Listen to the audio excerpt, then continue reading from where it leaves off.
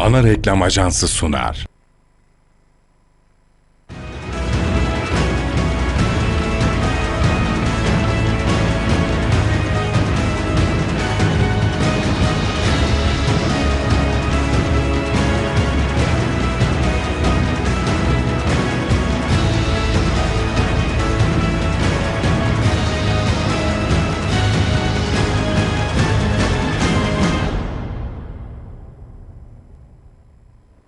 İyi akşamlar sevgili seyirciler. Efendim 798. Sentez programından herkese merhaba. Sevgili seyirciler bu akşam çok önemli bir konuğumla sizlerle birlikteyim. Efendim e, son günlerde biliyorsunuz e, hükümetimizin özellikle Ekonomi Bakanımızın açıklamış, açıklamış olduğu %10'luk indirimle yani esnaflarımıza e, söylemleriyle beraber bunun yanı sıra esnaflarımızın çektiği sıkıntılar ve tabii ki esnaflarımız her zaman için e, ülkemizin e, ekonomik ve toplumsal hayatımızdaki bir vazgeçilmez unsurlarından bir tanesi. Esnaflarımız olmasa gerçekten ekonomimiz sarsılır. İşte bu anlamda onların birçok da sorunları var aslında. O sorunların da üstesinden gelinmesi gerekiyor. Ya tabii ki bu akşam e, konuğumla beraber, konuğum bu arada Alanya Esnaf ve Sanatkarlar Başkanı e, Sayın Nuri Demir efendim. Sayın Nuri Demir'le bu akşam birçok e, önemli e, soru başlıklarıyla e, sizlerin huzurunda olacağız. En önemli konulardan bir tanesi son zamanlarda ülkemizin genelinde yaşanmış olan ekmek krizi vardı. Ekmek krizi e, tabii ki her ne kadar aşılmış olsa da yine dedikodusu devam ediyor. Bunun yanı sıra ülkemizin tamamında ve özellikle Alanya'yı rahatsız eden şu hani taklit satışlar var ya e, birçok ürünler var biliyorsunuz. Alanya'mızın da esnafların baş belası olan ve özellikle de avukatlar tarafından e, hiç acımadan o esnafların üzerine gidilmesini hepimiz biliyoruz. İşte bu konularla, birçok sorunlarla bu akşam o sorunları masaya yatıracağız. Sayın Başkanımızdan da cevap almak istiyoruz. Evet Sayın Başkanım programımıza önce hoş geldiniz. Hoş bulduk efendim. Bu akşam bizleri izleyen bütün Alanya halkına, esnaflarımıza hayırlı seyirler diliyorum. Teşekkür ediyorum. Sağ olun. Sağlık, sıhhatimiz nasıl başkanım? Çok şükür iyiyiz. Hizmete devam ediyoruz Bir efendim. sıkıntı yok. Yok efendim. Evet. İsterseniz programımıza şöyle başlayalım başkanım. Şimdi Tabii. siz ikinci dönem başkanlığa geldiniz. Evet. Ee, tabii ki esnaflarımız e, yeniden iş başına gelmenizle beraber farklı talepleri olabilir, farklı istekleri olabilir. Evet. E, bu istekler e, başlıca nelerdi? E, ya değişim nasıl bir değişim yaptınız? Veyahut da önümüzdeki süreçte özellikle teknolojik alanda yapılan hizmetler daha da hızlı, daha dinamik çalışmalarınız neler? Bir anlatalım isterseniz. Şimdi efendim biz Buyurun. tabii e, Ocak ayında tekrar tercih etti esnafımız. E, biz de daha önceki e, dönemde de çok değerli yönetim kurulu arkadaşlarımızla Alanya halkına hizmet ettik. Evet. Hepsine bu arada teşekkür ediyorum. E, tabii ikinci dönemde e, onlar da kendi şeylerince biz de aday olacağız dediler ama e, maalesef esnaf e, onları tercih etmedi. Bizi tercih etti. Çünkü neden?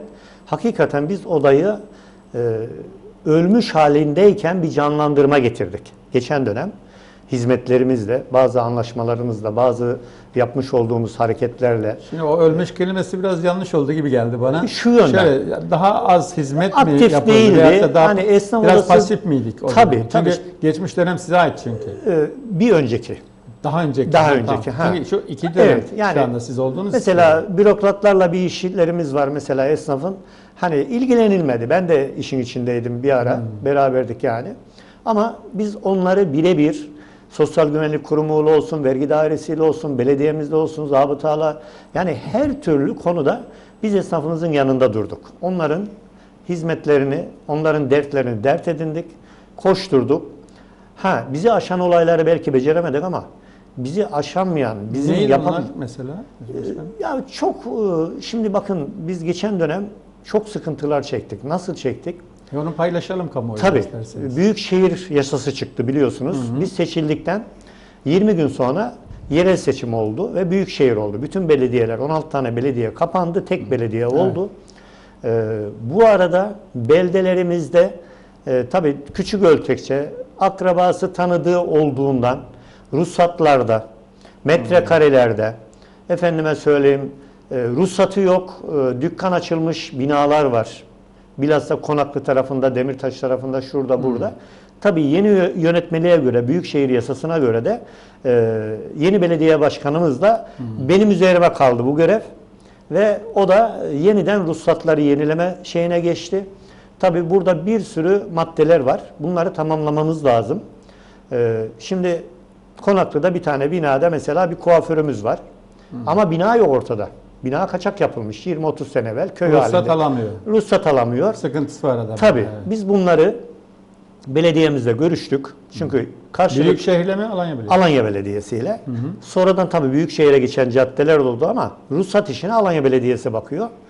Onların e, 20 sene 30 sene evvel muhtardan mühürlü yazı alarak bu binanın önceden yapıldığına dair burada Alanya Belediyesi'nden de e, e, imar durumundan yazı alarak ruhsatlarını aldırdık.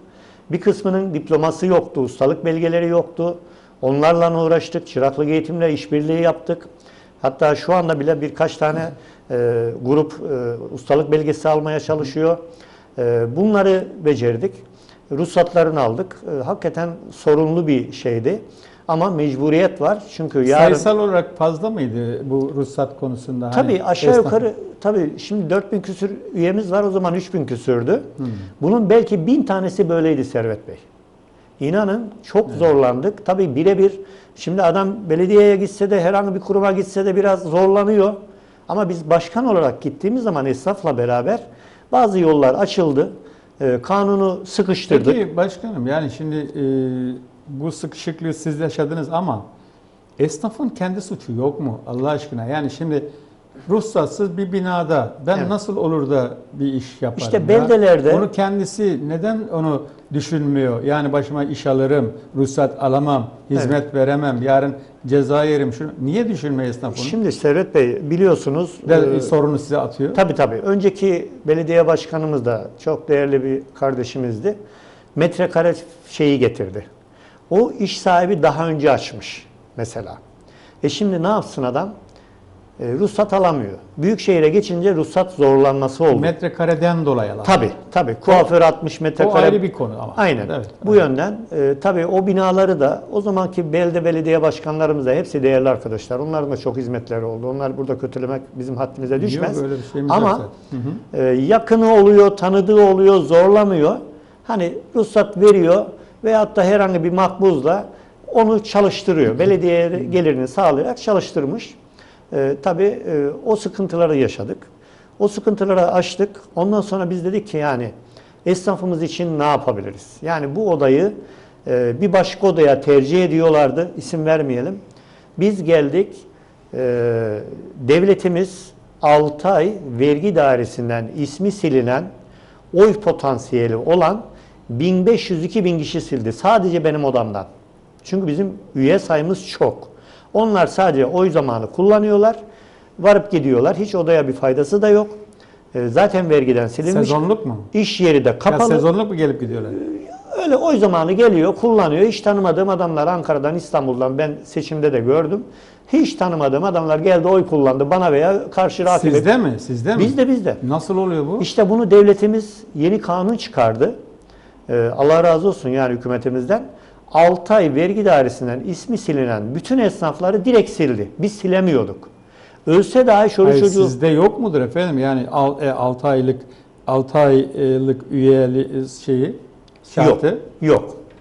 Biz silemiyoruz. Kanunen. Yok silme değil. Ha, Ben şimdi bugün geldim. Evet. Size üye oldum. Evet. Yarın seçim var. Oy kullanabiliyor muyum? Yok. Onu soruyorum. 6 ay. e, O- ha, onu söylüyorum. İşte onun için o 6 aylık süresinde onları sildiler ama e, biz 3300 küsür üyeyle aldık ilk seçimde 4,5-5 sene evvel. 2 ay sonra 5 sene olacak. Ama şu anda 4300 üyeye çıkardık. Çünkü neden? E, işleri bozulan, m, küçük ölçekte çalışan esnaflarımız eskiden büyük deftere tabiydi. E, gelir vergisine tabiydi. Bunlar basit usule geçtiler. Belirli bir ciro koydu. Yine hükümetimizin güzel bir başarısı o. E, esnafı koruma adına. E, siz dediler hani şu kadar Ne ciro kadar? yapmıyorsan 80-100 milyar gibi hani basite geçebilirsin.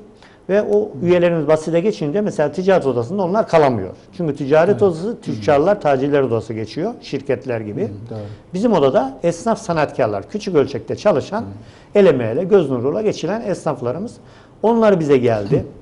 Tabii bir kısmı bizim esnaf kredi kooperatiflerinden para alabilmesi için, hatta şu anda biliyorsunuz faizler çok yükseldi. Ee, bizim kredi kooperatifi esnaf devlet desteğiyle cüzi bir faizden alıyor. O krediyi alabilmesi için de bizim odaya kayıtlı olması lazım. Herkes alabiliyor mu krediyi? Sicili bozuk olmayan herkes alabiliyor. Kaç kişinin sicili iyi odada? Şimdi şöyle e, Servet Bey ben şurada bir tane örnek vereyim. Ben 1968 yaşında 16 yaşında dükkan açtım. Bakın yaşımı büyüttüm ve vergi dairesine girdim. 50 yılda ben sicilimi bozmadım. Kefilliklerden para ödedik, her türlü sıkıntılar yaşadık, bina yaptık, borçlandık ama banka borcumu, devlete olan borcumu, vergimi, emlak vergimi, çöp vergimi günü gününe yatırdım. Ama maalesef bilmiyorum nesil değişti, karakter değişti bilemeyiz. Hiçbirini kötüleyemeyiz. Hepsi esnafımız. Ama adam daha iki senelik esnaf sicili bozulmuş. Çek, çek yazıldı. Aynen. oldu, öyle aynen. 5 senelik esnaf. Tabii biliyorsunuz siz bizden daha iyi biliyorsunuz. Ya o bir orantı verebilir Üç, misiniz? dört Mesela sene- 4, 4300 üyemizin En ne az kadarı temiz? en az 1500'ün sicili bozuk Servet Bey. Maalesef. Geliyorlar. Başkanım böyle böyle. Demin dedim ya ben esnafımla ilgileniyorum diye. Başkanım senin Tabii onların dertleri daha büyük. Tabii çok büyük. E, alamıyorlar, tefeciye düşüyorlar. He. Daha zor durumda oluyorlar. Ya tanıdık banka müdürü var mı dedi başkanım. Hiçbir yer vermiyor bana dedi. Geçen gün artı gittik bir bankaya. Müdür hemen girdi. Red geldi. Neden? Filan tarihte bir çeki dönmüş. Dedim ki müdürüm hani bu kadar samimiyiz. Yetkini kullanamıyor musun? Genel merkezden yet, red geldiği zaman dedi hiç ki bir banka veremez. E, Ne sivil bankalar ne devletin bankası veremez dedi. Hiç uğraşmasın dedi. Onun için biz Sayın Bakanımıza da geçen dönem e, Bağkur indirimi yaptırmıştık. Allah razı olsun. Dışişleri Bakanımız ilgilendi. Buraya geldiğinde derdimizi söyledik, dosya sunduk. Efendim dedim 5-6 senedir sicil affı olmamış. Bir de o affı yaptırabilirseniz yani Alanya esnafı çok rahat edecek.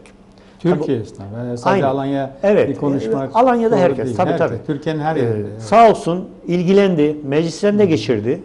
Fakat maalesef bankanın genel müdürleri, sahipleri kimisi artı kabul etmiyorlar. Büyük holding sahibi. Maalesef kabul etmiyorlar. Onun için esnaflarımız da kredi alamıyor. Ee, ya bir başkasının üzerine tanıdığı akrabasını bir şekilde. öyle alıyorlar. Hı. Evet. Onun üzerine alıyorlar. Kendine katiyen verilmiyor. Kredi kooperatifinde de özel bankalarda da devletin bankalarında hiçbiri kredi Ama işte bu da Türkiye'nin gerçeğini gösteriyor. İşte yani bunu- siz buna- 4300 kişide 1500 dediniz de bence o biraz daha yüksek gibi geliyor. Yani 2000'i bulur o. her odanın e, Vardır, üye evet. sayısına göre fazla Yani en az %50'si. fazla sicili bozuk olan var. Az sicili bozuk olan odalar var. Ama bizim kendi odamızda benim e, karşılaştığım Bunları rapor olarak tutuyor musunuz başkan? şöyle Ne e, yapıyorsunuz? Biz rapor olarak tutmuyoruz da mesela senede kaç tane esnafımız cezaevine girmiş? Efendim kaç tanesi taahhütten avukatlar peşinde? kaç Tabii tanesinin yani. dükkanı ipotekte? Kaç tanesinin arabası e, rehinde? Bunları takip ediyoruz. Kendimiz e, yapabildiğimiz kadar yardımcı olmaya çalışıyoruz ama tabii e, çok da açılmış bir kişiye biliyorsunuz o da 4300 kişi. Ben her birine birer lira yardım etmiş olsam 4 trilyon o parayı da bizim oda hiçbir zaman Sizin belli bir bütçeniz var. Var. O 6-700 bütçenizi kullandırıyorsunuz. tabii değil mi? 6-700 arasında bütçemiz var. Yok esnafa veremiyoruz. Ne Ancak yapıyorsunuz? 20 tane talep okuduyorum. Ee, aylık 100 lira şeyinde. Ee, bunları yapıyoruz. Eğitim işte işlerimiz oluyor. Kışın ücretsiz defteri, kalemi, çayı, kahvesi bize ait olmak üzere odamızın salonunu açıyoruz. 2 saat İngilizce ve Rusça dersi veriyoruz. Ee, efendime söyleyeyim. ee, yani hizmet olarak zaten sıralı var. Onlara şey mi efendim bu şimdi e, e, araba konuları çıkıyor karşımıza da. E, s- e, böyle daha çok hiz- hızlı hizmet yapmak adına e, özellikle teknolojiyi kullanmak adına odanın yapmış olduğu çalışmalar var mı bu dönemde için? Var efendim. Nedir onlar? Biraz şöyle, açar mısınız? Servet Bey şöyle söyleyeyim. Şimdi, şimdi ben, buradasınız siz konaklıyı Tabii, veya tabii. diğer yerleri nasıl İnanın, idare ediyorsunuz? Benim bir tane e, depomuz var bizim. Arşiv depomuz. Bu oda 48-49 yıllık bir oda. İnanın bütün o zamanki evraklar halen depoda saklı. Neden? Maalesef ben onları 10 Saklama sene... zorunluluğu mu var? Yok. 10 senesini tabi devlet biliyorsun resmi evrakları 10 sene bir de ana defterimiz var küçük. Onun haricindekileri hepsini iki kamyon belediyemize Allah razı olsun attırdım çöpe. Ve orayı rafladık. Şu anda muhasebe bürosu gibi bütün raflar vardığımız zaman elimizde bulabiliyoruz. Kendi odamızda da tabi bu oda e, önceki Allah rahmet eylesin O bir arşiv miydi? arşiv gibi. Yani Evet. arşivi mi attık? Arşiv gibi, arşiv gibi. Orada lazım olduğu zaman geliyorlar sosyal güvenlikten mesela bakmak Hayır, için. çöpe attık dediniz. Gitti. Onlar zaten yaramaz evrak. O ne, ne Mührü geçmiş. Zamanı geçmiş. O zamanki yapılan bütün belgeler orada. Ben şimdi bura programa çıkıyorum. Lazım olabilir mi onlar? Yok hiçbir şey lazım. Ana kütük defteri haricinde Anladım. onlar orada çöp. Peki. Onları Evet. kaldırdık. Odamızda da tabii geçen dönemde yaptık. Eski yönetim arkadaşlarımızla. Ama bu dönem daha güzel çalışma ekibi kurduk. Daha güzel hizmet verelim dedik. Baktık misal e, bilgisayarlarımızın eski olanı var. Odanın klimalarının eski olanı var. Yenilediniz mi onları? Hepsini yeniledim. Hatta yeni gelen üyelerimiz görüyor. Şu anda şeffaf bir hizmet tarzına geçtik. Ee, böyle birebir masaya oturarak önündeki barkodları kaldırdık. Muhasebe bürosundaki raflardaki e, daha önce su basmış bir şeyler olmuş hep bütün odaların kapıları çürümüş şunlar bunlar pencerelerde var. Onları değiştirdik. Birebir esnafımız çayını içerken çünkü gelen esnafımız ayakta dikeliyordu. Ayakta çay içiyordu.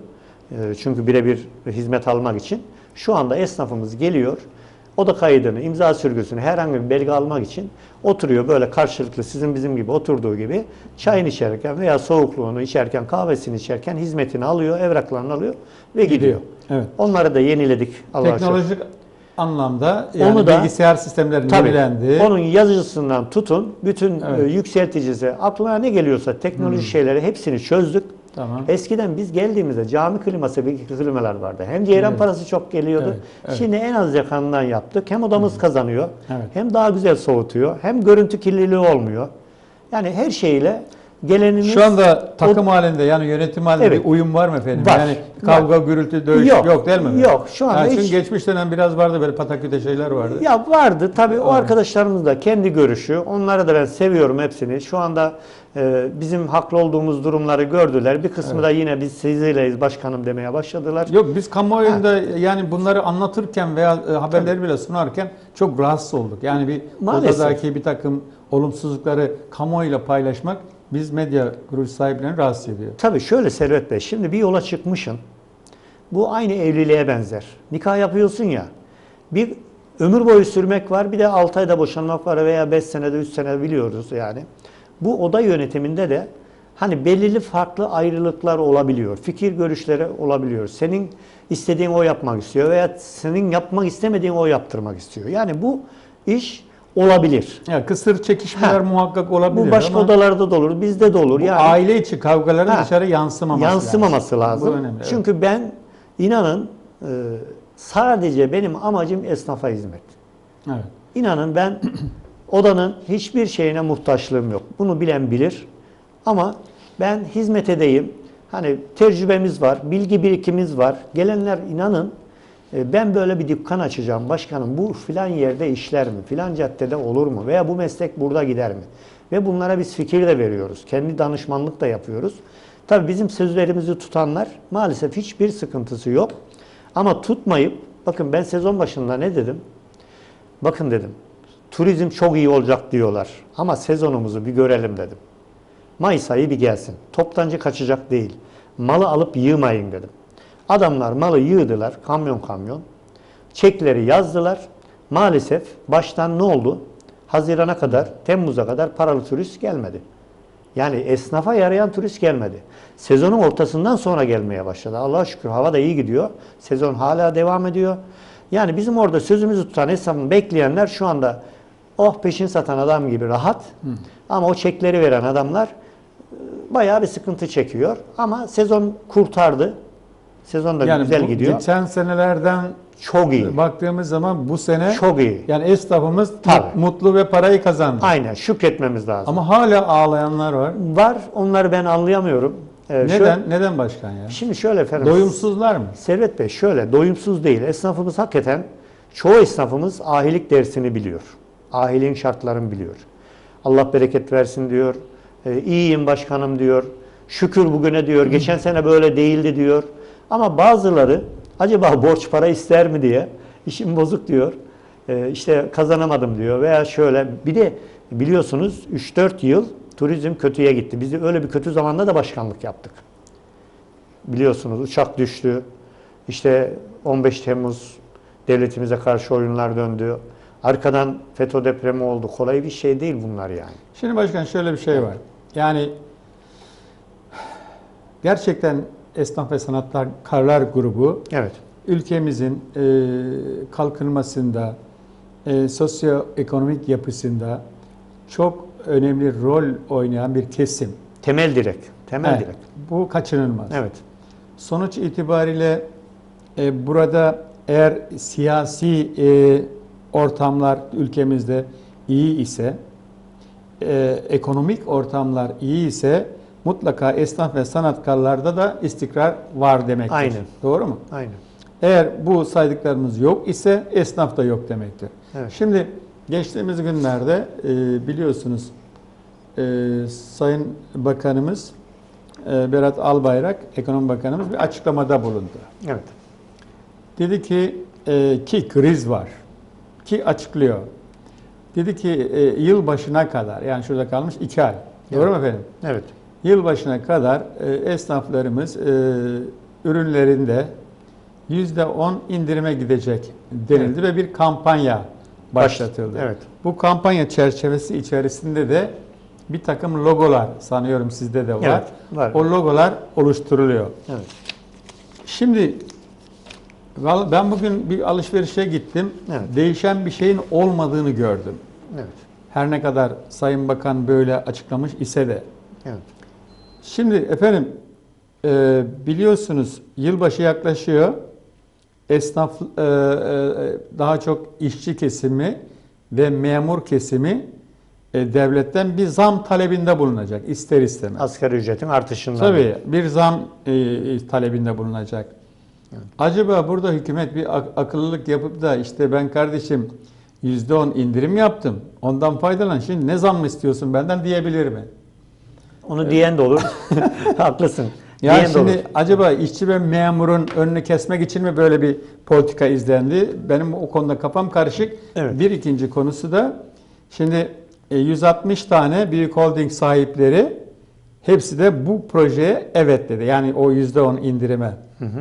Neden bunu söylüyorlar? Çünkü o 160 tane holdingin içindeki işçi sayısı, memur sayısı Tabii bir hayli fazla. Doğru. E şimdi onların önünü nasıl kesebilirsiniz? İşte yüzde on diyecek. Şey yapacak. Değil mi İndirim efendim? yapıyorum. Ben malımı satamıyorum Ha. diyecek. Ya yılbaşından sonra neler olacağını hep beraber göreceğiz. Yeni yıla Evet. çok farklı girecek bu ülke. Evet. Yani yüzde on indirecek ama belki de daha fazla zamlar bizleri bekliyor diye düşünüyorum. Evet. Böyle bir durum var. Bu konuda neler söylemek istersiniz? Şimdi bu konularda tabii e, büyük iş adamları e, maalesef bizim odada değiller.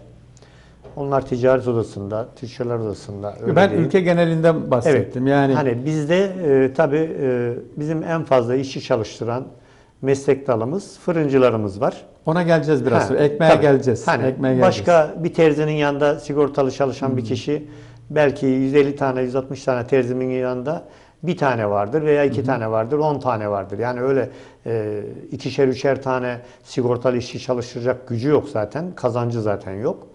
E, başka bir berberin yanında yine öylesine çırağı vardır, kalfası vardır. Ama öyle yaşlı başlı bir tane sigortalı işçisi çok nadir berberde veya kuaförde vardır. Onun için bizim bizi bizim odayı pek fazla bağlamıyor ama sizin fikriniz doğru olabilir. Öyle bir anlaşma yapmış olabilirler. Onu biz bilemeyiz. Onu hükümetimizin kendi kararı. Ya işte yılbaşında böyle bir Evet, talep olacak. olabilir. Çünkü e, ben sana zam yap e, veremem diyebilmesi için böyle bir şey. Olabilir. Yol tercih etmiş olabilirler Olabilir. diye olabilir. düşünüyoruz yani. Yani minareyi çalan kılıf hazırlar derler ya. olabilir yani. Onu biz bilemeyiz. Ya işte holding sahiplerinin işine gelecek o yüzde on. Ama Evet. ben Alanya Esnaf ve Sanatkarlar Odası Başkanlığı olarak Evet. bu yüzde on indirim konusunda neler yapılıyor, e, kamuoyuyla neler paylaşıyorsunuz? Evet. İşte bu yerli üretim şeyler var, logolar falan var. Şimdi Bunlar bunlar da oda olarak neler yapıyorsunuz? Evet, şimdi Servet Bey bu konu zaten biliyorsunuz siz de e, hemen yakın bir tarihte açıklama oldu. Tabii e, hükümetimiz hani e, kamera karşıdaysa göstereyim. Evet. Şöyle bir logo olacak Evet, yerli evet. üretimlerde. Ayrıca e, şu şekil 6 6 6,5 santim genişliğinde 2,5 santim eninde e, buradaki e, ürün Türk malı mesela üretim tarihi şu fiyatı bu e, düzüne ise düzüne fiyatı veya kilo olsa kilo fiyatı tabii çok çeşitli mesleklerimiz var. Evet. Fiyat değişik tarihi bir de. Ne zaman değiştirdin? O tarihi de istiyor ve ne mal olduğunu istiyor. Bunun e, altta Çin malı olanı da o şekil istiyor. Bunları e, ürün tabi bir butikte veya herhangi bir şeyde e, binlerce mal var. Tek tek hepsine yapıştır demiyor. Rafta bulunan mesela bir pantolon veya bir etek veya da bir kostüm veya bir pardösü neyse onun üzerine yazsın. Hepsi aynı fiyat olarak gözüksün diyor. Bu neden oldu? Tabi biliyorsunuz 2 aydır, 3 aydır e, Türkiye'de e, döviz bazında deprem oldu. Ben öyle diyorum halk diliyle. Çok yükseldi. E, Burada tabi bizim Alanya'da öyle çok bir şey olmadı ama büyük şehirlerde bazı fırsatçı esnaflar veya toptancılar e, birden zamlara girdiler. Tabi hükümetimiz de şikayetler alıyor. Hemen ona kulak asmadan e, gerekli emiri verdiler. Kaç aldın, kaça satıyorsun? Şu anda Ticaret Bakanlığı'yla Ticaret İl Müdürlükleri e, bazı büyük marketlere yazmaya başladılar. Çünkü onların elinde bir tane şey. İşte biz büyük AVM'leri tercih etmen dediğimiz o. Anında hemen orada sattığı ürünleri fiyatlarını değiştirdiler. Bizim bakkalımız değiştirmedi misal. Bizim bakkalımız deyince benim de alışveriş yaptığım bakkal var ama biz bakkal odası değiliz. Ama butik yine öylesine. Çünkü adam tek tek hangi birini değiştirsin? Normal eski fiyatına sattı. Ha yeni mal aldı. Dolarla veya euroyla satılan mallar da var. Onlara tabii birazcık olsun koydu. Bunun önüne geçebilmek için, haksız kazancın önüne geçebilmesi için bunu çıkardı hükümetimiz işte. Bunlar kuaförler için de geçerli mi? Kuaförlerde fiyat tarifeleri var. Masrafına göre. E, tabii biz 55 tane meslek grubunun başkanıyız. Yani ticaret odasında bile bizim kadar meslek grubu yok. Evet. Ee, çok meslek grubu var bizde. İdaresi de zor bizim olanın öyle kolay değil ama biz bunu yapacağız diye geldik ve başarıyoruz Allah'ın izniyle. İnşallah. Ee, Farklı zamları aldığına yufkacı mesela un çuvalı kaça çıkmış? Ee, Ceyran ne kadar elektrik zam geldi hepimiz biliyoruz. Siz defalarca yazıyorsunuz, Tabii, söylüyorsunuz. evet. Su asat bayağı bir zam yaptı. E, asgari ücret zaten her 6 ayda bir yükseliyor. Sigorta primi yükseliyor sizin de başınızda. Vergisi yükseliyor falan. Ee, onun için e, onun maliyetini döküyoruz. Burada yönetimden kaç paralık, kaça olursa kurtarır onu şey yapıyoruz. Aynı zamanda komşu kazalarımızdan ve başka vilayetlerden de fiyatlar alıyoruz. Oralarda zam oldu mu? Oralara zam olmadan zaten biz zam yapmıyoruz. Hangi ürünler bunlar genelde? Mesela yufkacı, e, dondurma, e, baklava, kuaför, berber, e, fiyat tarifesi olan ekmek bunların hepsinde. Ama tabii fiyat tarifesi olmayan terzi gibi efendim başka meslekler gibi şeyler var. Onlar pazarlığa tabi oluyor. Gönül isterse hakkını da verecekse adam yapıyor. Ee, şimdi başkanım e, yeni döneme girdiniz ya sizler. Evet. Ee, esnaflarımızın sıkıntısı azalıyor mu yoksa çoğalıyor mu? Şimdi esnaflarımızın Servet Bey her dönem sıkıntısı olur. Ha, geçmiş dönemlere göre diyor. Tabii. Şöyle ki Azalıyor mu çoğalıyor mu? Sadece e, bu ediyorum. sene biraz e, rahatladılar. Ama geçtiğim dönemden 2-3 sene turizmin kötüye gitmesi, turistin gelmemesi, o dönemlerdeki sıkıntıları hala devam ediyor. Tabii muhakkak kira, elektrik, Evet. su falan Daha filan. tam işçi- rahatladı dersek yalan olur. Evet. e, dükkanı kira, evi kira, efendim sevkile, senetle mal alanlar halen sıkıntıda. Bu sene belini doğrultamamış olabilirler ama e, benim tahminime Ama göre böyle devam ederse ayakta kaldılar. Seneye Evet. biraz daha biraz daha olabilir Evet. diye O düşünüyorum. zaman iyi Gelişme- olacak inşallah. Evet. e, bu Evet. konuda herhangi bir böyle bir memnuniyet e, ana- analizleri falan yaptırabiliyor musunuz? Şöyle ben e, esnaflarımız bilir. Tabii yaz döneminde turistle mi uğraşsın, gidip dükkanda meşgul etmeyelim diye şey yapmıyoruz ama ben ara ara esnaf gezileri yapıyorum. Allah izin verirse biraz turizm mevsimi de e, Ya şey- gittiğiniz zaman suratlar nasıl oluyor? Ekşi mi? Yok, Tatlı yok. mı? Allah Nasıl? razı olsun. Hepsi e, yani güler yüze e, başkanım Allah razı olsun diyorlar mı? Diyorlar. Mesele o. Yani. diyorlar, diyorlar. Yani benim inanın Evet. e, esnaflarımız telefonla da bağlanabilir. Hiçbir çekincememiz Ay yok. yok canım. Ee, yok. yazabilirler WhatsApp'tan. Ee, hepsi başkanım sizden çok memnunuz. Sizden çok memnunuz. Allah sizden razı, sizi başımızdan eksik etmesin. Çünkü birebir dertleriyle sadece esnafla e, şey oda ilişkisi değil de abi kardeş baba evlat ilişkileri de var bizde. Hepsi Allah razı olsun diyorlar. Memnunlar. Evet. Ee, evet. Ee, şunu e, az yarım kaldı gibi e, Sayın Başkan. Maliye Bakanımız Sayın Berat Albayrak bu yüzde onluk bölümü Evet. e, e, esnaflarımızla oturup konuştuğunuz zaman buradaki düşünceleri ne onların? Yani Şimdi- ne diyor insanlar? Yani Şimdi e, evet. fiyat politikası burada. Para yani nasıl e, organize edi- Şimdi bizim, ediyorsunuz daha bizim doğrusu? meslek gruplarında Servet Bey şöyle. Şimdi mesela e, butik veya Tepki var mı yok mu? Sadece onu merak ettim. Var, var. Hatta %10'un fazlasıyla indirim yapan esnaflarımız da var. Ama e, bunu açık bir pankartla değil, e, içeri girdiği zaman ürünün üzerinde eski fiyatı şu, yeni fiyatı şu, %20 indirim, %30 indirim yazabiliyorlar. Ama dışarıda bir pankart veya herhangi bir şey yazdığı zaman belediyeden Ceza yiyorlar mı? e, tabii. Şey mi efendim? Yani haksız rekabeti aynen önleme adına Onun için ceza yazıyorlar. Hatta karşı esnaf bana diyor ki böyle böyle başkanım ben şikayet edersem olmaz. Bununla bir ilgilen. Biz de zabıtaya diyoruz ki filan kuaförde asmış adam yeni dükkan açmış. Kaydı bile yok. Cüzlü bir fiyatlar yazmış. Öbür tarafta vergi veren, oda kaydı olan, çöp vergisi ödeyen, belediyeden ruhsat parası ödeyen adamın hakkını yiyor. Bunlara hemen anında müdahale ediyoruz. Sağ olsun zabıta ekibimizle iyi çalışıyoruz. Geliyor, kaydoluyor, belediyede ruhsatını alıyor. Ondan sonra o masrafları görünce zaten normal fiyata o da çekiyor. Ya efendim daha önce mesela atıyorum 500 bin liraya sat 500 liraya 500 lira mı diyorsun ne evet. diyorsun? Tabii tabii. Aldığın bir ceketi, ceket. Adam oraya e, zaten 500 satıyordu.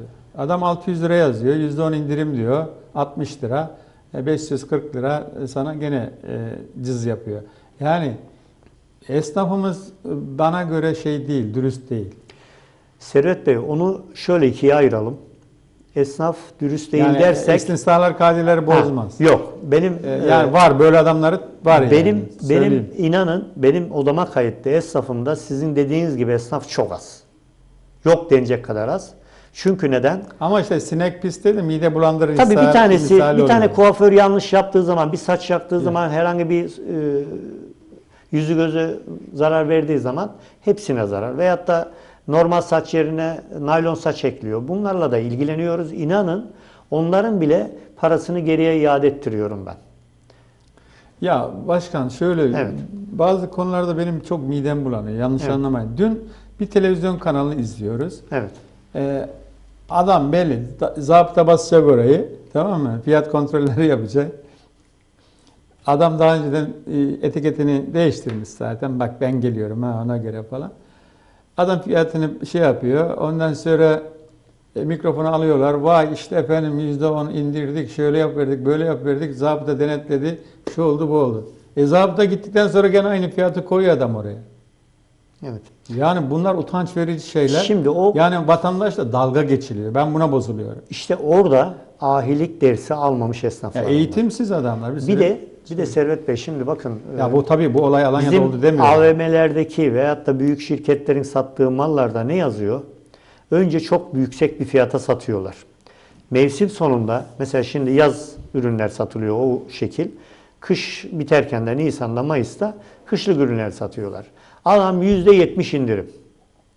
Ya kardeşim %70 indirim demek ne demek? %100 zarar demek, %70 zarar demek. Hadi bunu %70 karla mı sattın daha önce? Yani o bizim küçük esnaflarda yani bir terzimizde bir tane ufak butikte böyle bir şey olamaz. Öyle %70 indirim de yapamaz. Ama biz bunu AVM'lerde görüyoruz.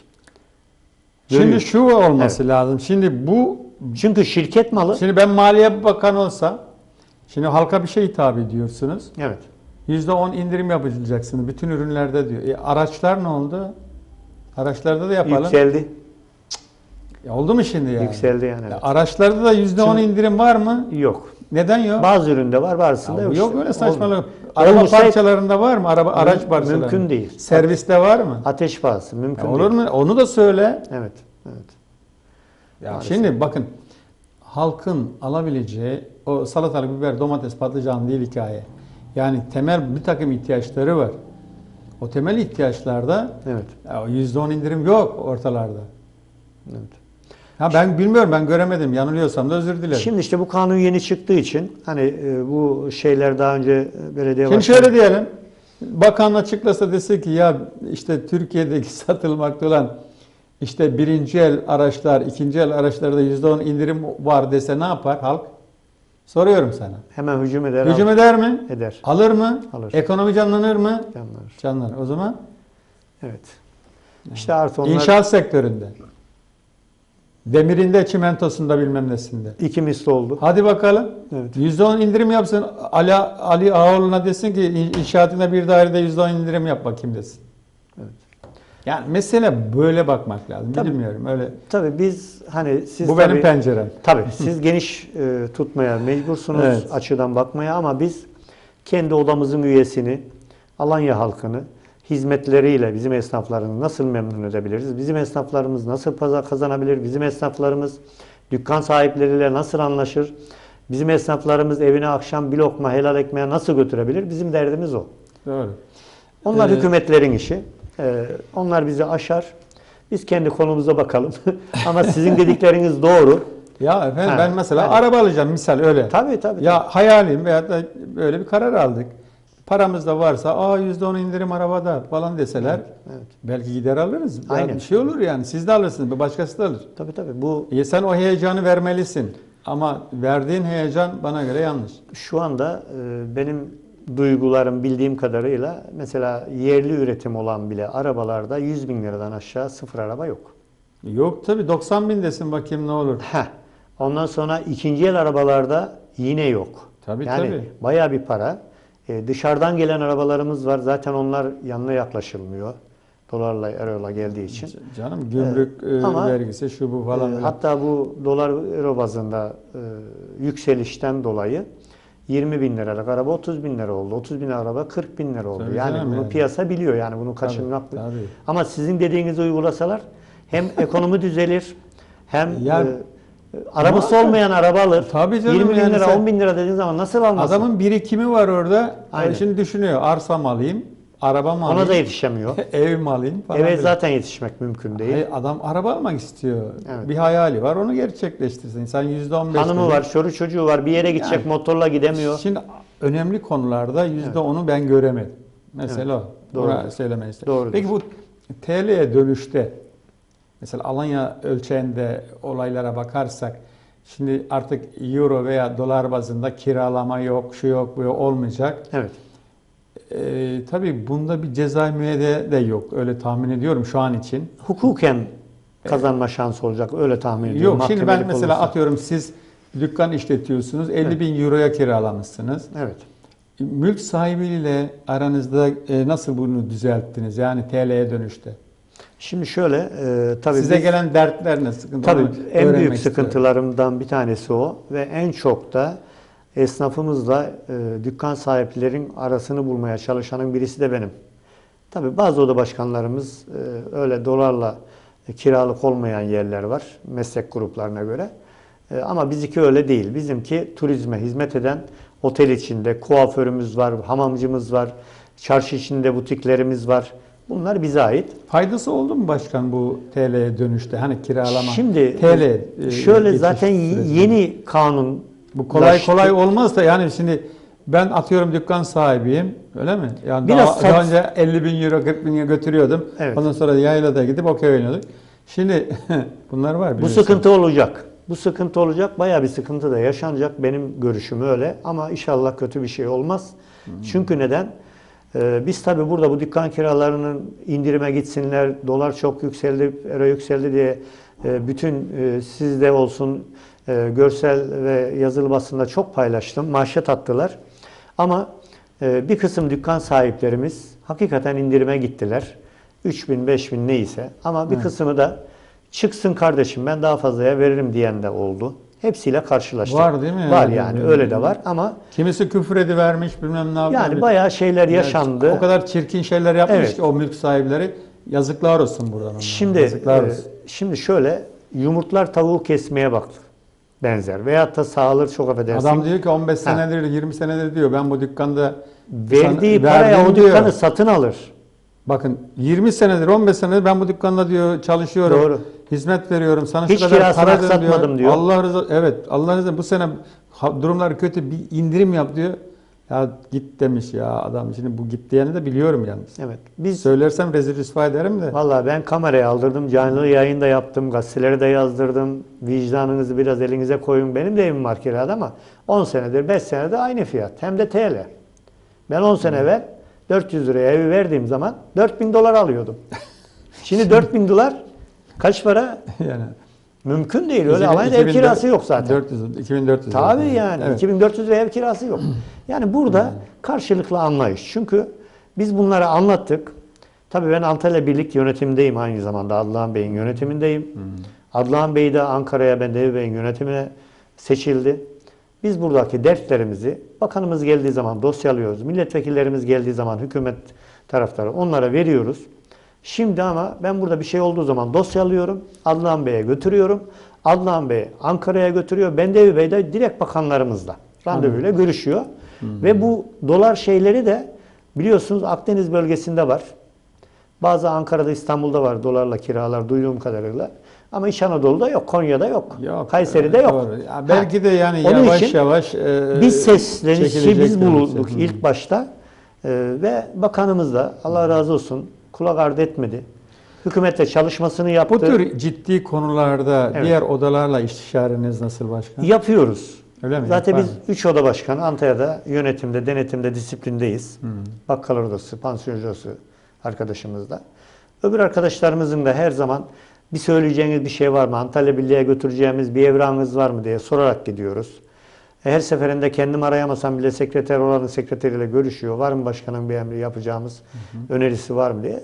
Şu, şey yapıyoruz. Kimisi var şunu getire gel diyor. Kimisi şunu söyle gittin de diyorlar. Bakın ben e, birlikte toplantı yaptık. E, Antalya Vergi Dairesi Baş Müdürü'yle. e, bir de Sosyal Güvenlik Baş Müdürü'yle. Orada şunu söyledim Servet Bey. Ben her zaman e, bizim esnafımızın yanında oldum. Nedir bu? Bakın dedim efendim dedim. Vergi dairesi şu indirimleri yapıyor. Efendim şu şeyleri şu, şu kadar ciro etmeyenleri basit usulü ç- şey yapıyor ve vergisini azalıyor. Defterden kurtuluyor, muhasebeciden kurtuluyor. Sizde dedim bir çalışma niye yok efendim? Nedir dedi başkan dedi. Ve 3-4 oda başkanından konuşanın biri benim. Dedim ki efendim bakın bir diş hekimi ne kadar alıyor bir ağzı açtığı zaman? Ha gözümüz yok. Onlar da sanatkar yani. Bir doktor kaç para alıyor muayene parası veya bir ameliyat ettiği zaman? Benim berberim kaç para alıyor? Veya kuaförüm kaç para alıyor? Veya benim terzim bir hafta bir takım elbise dikiyor. 500-600 lira alamıyor adam. Malzemesini de koyduğu için 1000 lira da alsa Bazen veresiye gidiyor. veresiye gidiyor. Ama dedim ne yapıyor dedim ben sosyal güvenlik müdürüne, bölge müdürüne. 700 lira dedim Bağkur parası ödüyor. Diş hekimi de 700 lira ödüyor. Olmaz dedim. Bunu dedim. Siz dedim biz size getiriyoruz, dosya veriyoruz. Siz dedim bir üstünüze götüreceksiniz. Bir üstünüzde direkt Sosyal Çalışma Bakanlığı'na götürecek, Başbakan'a götürecek, meclise taşıyacak. Mesela berber 300 lira ödesin kardeşim, 400 lira ödesin. Ödeyemiyorlar. Ödeyemiyor, birikiyor. Sağlıktan hizmet alamıyor. Adam mahvolup gidiyor. Bugün kanserli hastalarınız var Servet Bey. Çok. Üyelerimizde yani. Adam ilaç alamıyor. Neden? Sağlık güvencesini bir yatıramamış. imece usulü var mı? Yapıyor musunuz böyle hani oda içerisinde böyle işte Şimdi- e, Şimdi hasta arkadaşlarımıza. Şöyle. Servet Bey, e, aslında eskiden fon diye bir şey vardı. Hı. E, bu kaldırıldı maalesef. Neden? E, bilmiyorum. Mesela Oyun yeniden. ne kadar e, aidat alıyorsak 5 lira 10 lira da fona biriktiriyorduk. Bir ayrı kasa açıyorduk ona. Daha önceki başkanlarımız da onu yaptı. Dükkanın yanına, işte kalp ameliyatı olup 2-3 ay çalışamayana, kanser tedavisi olup da ilacını alamayana bunlardan yardımcı oluyorduk. Şimdi? Ama şimdi öyle bir şey olmuyor. Fakat biz bunu arkadaşlarımla uyumlu bir vaziyette çalışarak geçen dönemde aynı şekil oldu. Dükkanı yanına, işte sel basana veyahut da hasta olup Bağkur'dan ameliyat olamayana Bağkur'un ödeyecek şekilde 3 bin lira, 5 bin lira çıkarıyorduk. Kendi aranızdan mı topluyor? Yok yok, odadan, yönetimden o esnafa yardım. Kimisi diyordu ki yani ben iyi olduğumda bunu... Yok, yok, belli 3-5 kişi mi yapıyor bu yardımı yoksa işte yok yok, 4300 oda olarak, kişiden oda, olarak, oda olarak. Oda olarak yapıyorduk. 4300 üye olarak. Üyenin içinde hangisi hasta olursa, hangisinin dükkanı yanarsa, hangisinin ne bileyim böyle bir sıkıntısı varsa onlara yönetimden geçiriyoruz. Mesela 2000 lira bir yardım ediyoruz. O 2000 liraya zaten 3-4 aylık Bağkur. Yönetimin bütçesinden şey e, odanın değil değil. bütçesinden. Oda, oda bütçesinden. Ha, tabii, oda, tabii. ama işte ben başka bir şey söylemeye çalıştım da o yüzden. Evet. Ee, ve veyahut da başka bir şey Fon olmadığı için çalıştım. başka türlü veremiyorsun Servet Bey. Bizim Kurun odanın bir tane fon başkan ya. Ne diyor? ama kanun var. Allah Allah. 500 368 kanuna Ne diyor göre kanunda yani hasta üyene ya- kuramazsın. yapma mı diyor. Kuramazsın diyor. Odada 1 trilyonda para olsa 1 lirasını veremezsin diyor. Hatta müfettiş gelse benim kasamda 1 lira para bulsa zimmete para geçirdi diyor. Oradaki makbuzlardan 1 lira eksik görse yine zimmetine para geçirdi diyor. Yani odanın e, şeyi Allah'a çok şükür çok düzgün gidiyor. Bir müfettişimiz gelmiyor Allah'a çok şükür ama bazı arkadaşlarımız da geldi. Başka odalarda da geldi yani Antalya'da şurada burada. Çok sıkıntılar çektirdiler. Oysa adam dürüst çalışıyor. Hiçbir sıkıntısı yok. Odanın parasında gözü yok adamın zaten. Bir fiil gecesini gündüzüne kadıyor. Pazar gün bile biz vazife yapıyoruz. Cumartesi gün vazife. Gece dün akşam beni saat bir buçukta aradılar. Cenaze için. Ya tabii başkanım kolay değil. Yani, Yani- şimdi bir sürü e, insan ölüyor, sa- sağlık Her gün var, cenazemiz var. Her gün zaten neredesin? Üyemizin ya babası ölüyor ya annesi Doğrudur, ölüyor. katılıyorum size. Bugün yine vardı Demirtaş'ta. Yani Biliyorum, her gün biliyorum. her gün var.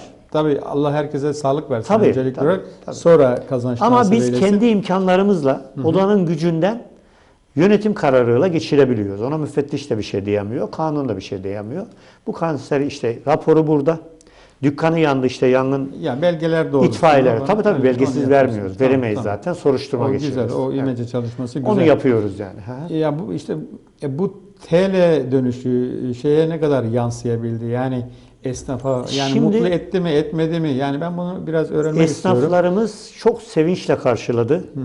Yani çok büyük şey başardık. Hükümet sizler dediler. Evet. Ama şu anda ben biraz e, şeyliyim. Tam anlayamıyorum bazı şeyi. E, bazı arkadaşlar dükkan sahipleri maalesef ben aldığımı bilirim diyor. Öyle biliyorum TL ben o bazı Ha, isimler var. TL'ye çeviremem diyor. Biliyorum, Ama biliyorum. hükümet buna da şey koydu. 3700'den e, mahkemelik olsa verecek. Dükkan sahibi de bir şey diyemeyecek. Hukuken kazandığı zaman. Mahkemelik olacak bunlar. Ama ben bir uzmandan dinledim. Ticaret odasına geldiğinde Onların bireysel hakları var yani. var. Diyor ki e, bir yere iş yeri açtın.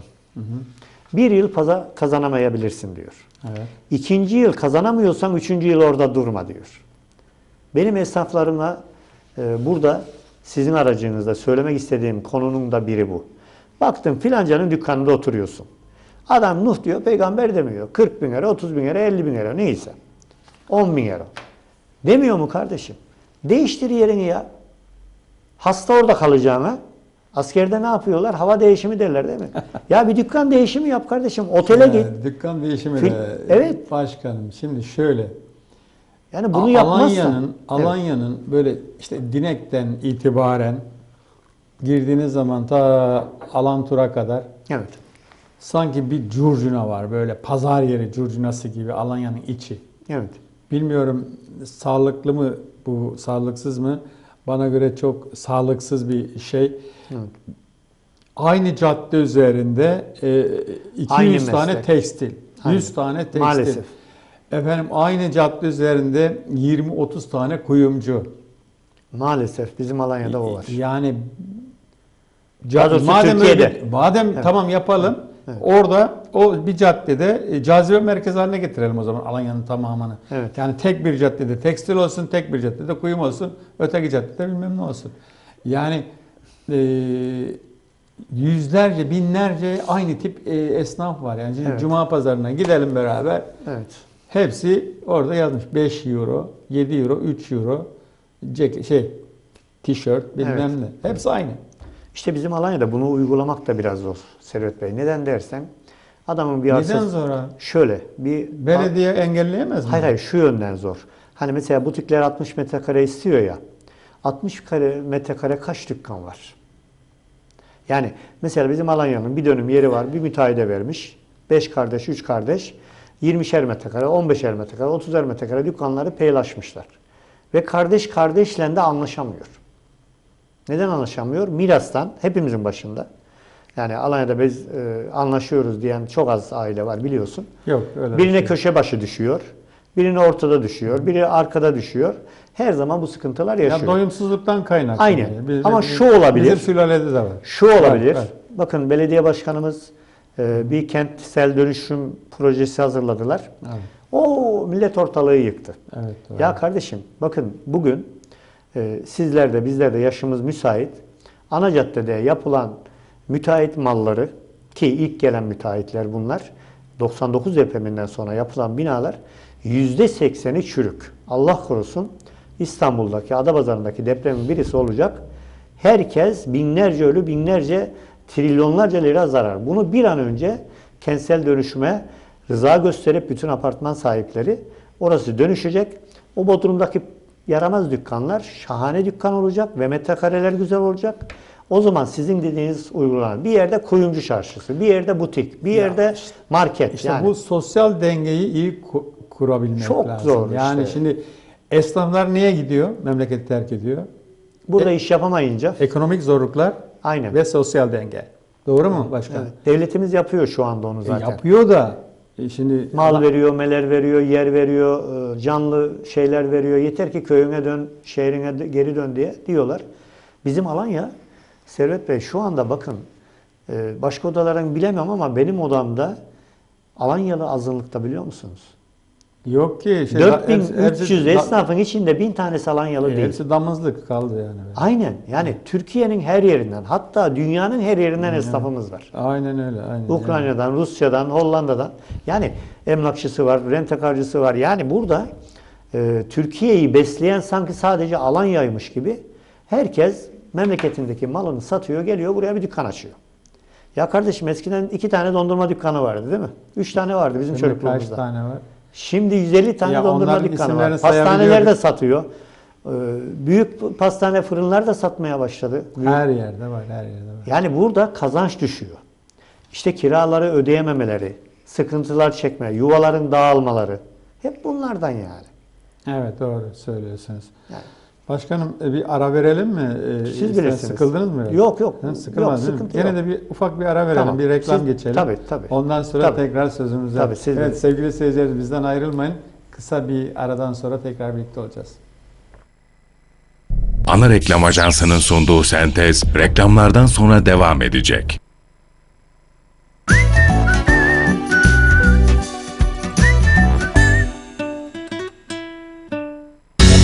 Alanya'da yepyeni bir iletişim merkezi kuruldu. Cepsel İletişim artık tüm telefon marka ve modellerin orijinal cam değişimi, teknik servis hizmeti, aksesuar çeşitleri, hızlı ve güvenilir bir şekilde tamir, bakım ve onarımıyla hizmetinizde. Sıfır ve ikinci el telefon alımı ve satımıyla da tüm halkımıza hizmet veren Cepsel İletişim Merkezi, ayrıca Türk Telekom ve TV Bu faturalı ve faturasız ödeme hizmeti de vermektedir.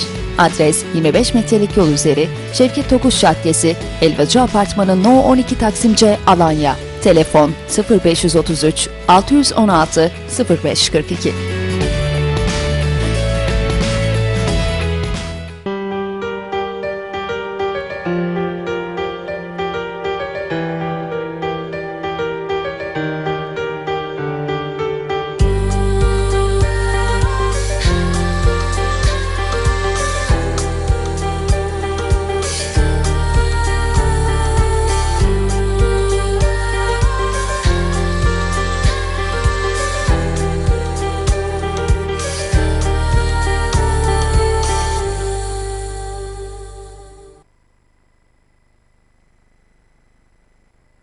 Patron çıldırdı. Duyanlar duymayanlara haber versin. Yüz güldüren fiyatlarla halkın kalbini kazanan Alanya Ucuzluk Merkezi hız kesmeden yeniliklerine devam ediyor. Şehrin en ucuz mağazasında aklınıza gelebilecek tüm ev alet ve edevatları, bin bir çeşit mutfak ve temizlik ürünleri sadece 1,5, 5 ve 10 TL. Yoğun isteğiniz üzerine en uygun fiyatlarla kırtasiye reyonumuz hizmetinizde. Duyanlar duymayanlara haber versin. Haydi herkes Alanya Ucuzluk Merkezi'ne. Adres Kızlarpınarı Mahallesi, Mehmet Akif Ersoy Caddesi, Carmen Suite Otel 6 Bin Market yanında.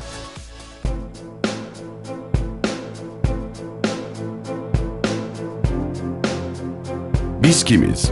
Düşünen, yaratıcı, fikir sahibi, tecrübe sahibi, çılgın fikirlere sahip, işine aşık ekip arkadaşlarımızla çalışıp üretiriz. Peki biz ne mi yaparız? Marka oluşturur ve geliştiririz. Tüm basılı işlerinizi tasarlarız. İnternet sitenizi oluşturur, markanızı sosyal medyada öne çıkartırız. Prodüksiyon hizmetimizle firmanızı farklı mecralarda tanıtırız. Danışmanlık hizmeti verir, sizin için kampanya düzenleyip stratejinizi planlarız. Kısacası biz logonuzdan tanıtım filmine, kataloğunuzdan fotoğraf çekimine, TV, radyo reklamlarınızdan sosyal medya reklamlarınıza kadar her türlü markalaşma adımınızı atar, yol boyunca hiç ara vermeden yanınızda oluruz. Bugün alo deyin, mail atın ya da gelin kahvemizi için. Ne de olsa dükkan sizin. Unutmayın, reklamlar tutkuların araçlarıdır.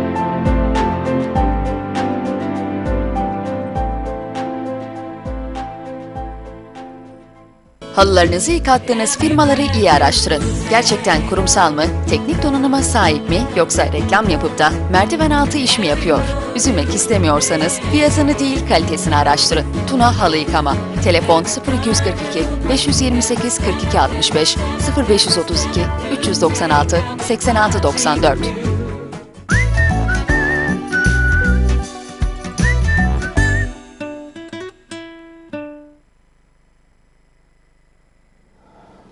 Evet sevgili seyirciler bu akşam Sentez programında konuğum e, Alanya Esnaf e, ve Sanatkarlar Odası Başkanımız Sayın Nuri Demir Bey abimizle beraberiz. Efendim e, gayet önemli e, konulara temas ediyoruz e, bu akşam programımızda. Tabi biraz sonra ekmek konusuna geleceğiz. Taksit, taklit ürünler konusuna da gelmek istiyorum. Ama şimdi e, bana izleyicilerimiz soruyor yazmışlar özelden. Diyorlar ki ya başkanımız hizmetlerini anlatırken biraz eksik anlatıyor. Özellikle bu e, kampanyalarda e, esnaflarımız nasıl faydalanıyor? Hangi firmalardan ne kadar e, alışverişlerinde fayda sağlıyorlar? Onu bir açıklasın bize diyorlar. Bakalım bu konuda neler söyleyecekler. Ayrıca bu hizmet aracını soruyor vatandaşlar, izleyicilerimiz. Onunla, o konuda da başkandan cevap bekliyoruz efendim. Başkan lütfen bu sorulara bir cevap verir misiniz? Şimdi Servet Bey, tabii e, esnaflarımız biz e, aşağı yukarı 30 kilometre bu taraf, 40 kilometre Alara Köprüsü'ne kadar bize ait. Burada otellerde olsun, oradaki çarşılı, pazarda, alışveriş merkezlerinde esnaflarımız var. Evet. E, tabii küçük ölçekte çalışan el sanatıyla uğraşan esnaflarımız da var. E, biz tabii odamızın 21 yıllık bir arabası vardı efendim. Yani bugün 21 yıllık arabayı kim kullanıyor bilmiyorum ama bizim odamız hem büyük oda diyoruz, üye sayısı çok. Bir Antalya'ya gittiğimiz zaman bize gülenler oluyordu. Ee, biz onu burada ihaleye çıkardık. Çok para veren olmadı eski diye. Arızalarla her sene bir sürü masraf ediyorduk. Tamir parası. Ha, tamir parası veriyorduk. Dedik tamiriyle uğraşmaktansa Evet. Ee, bir araba alalım.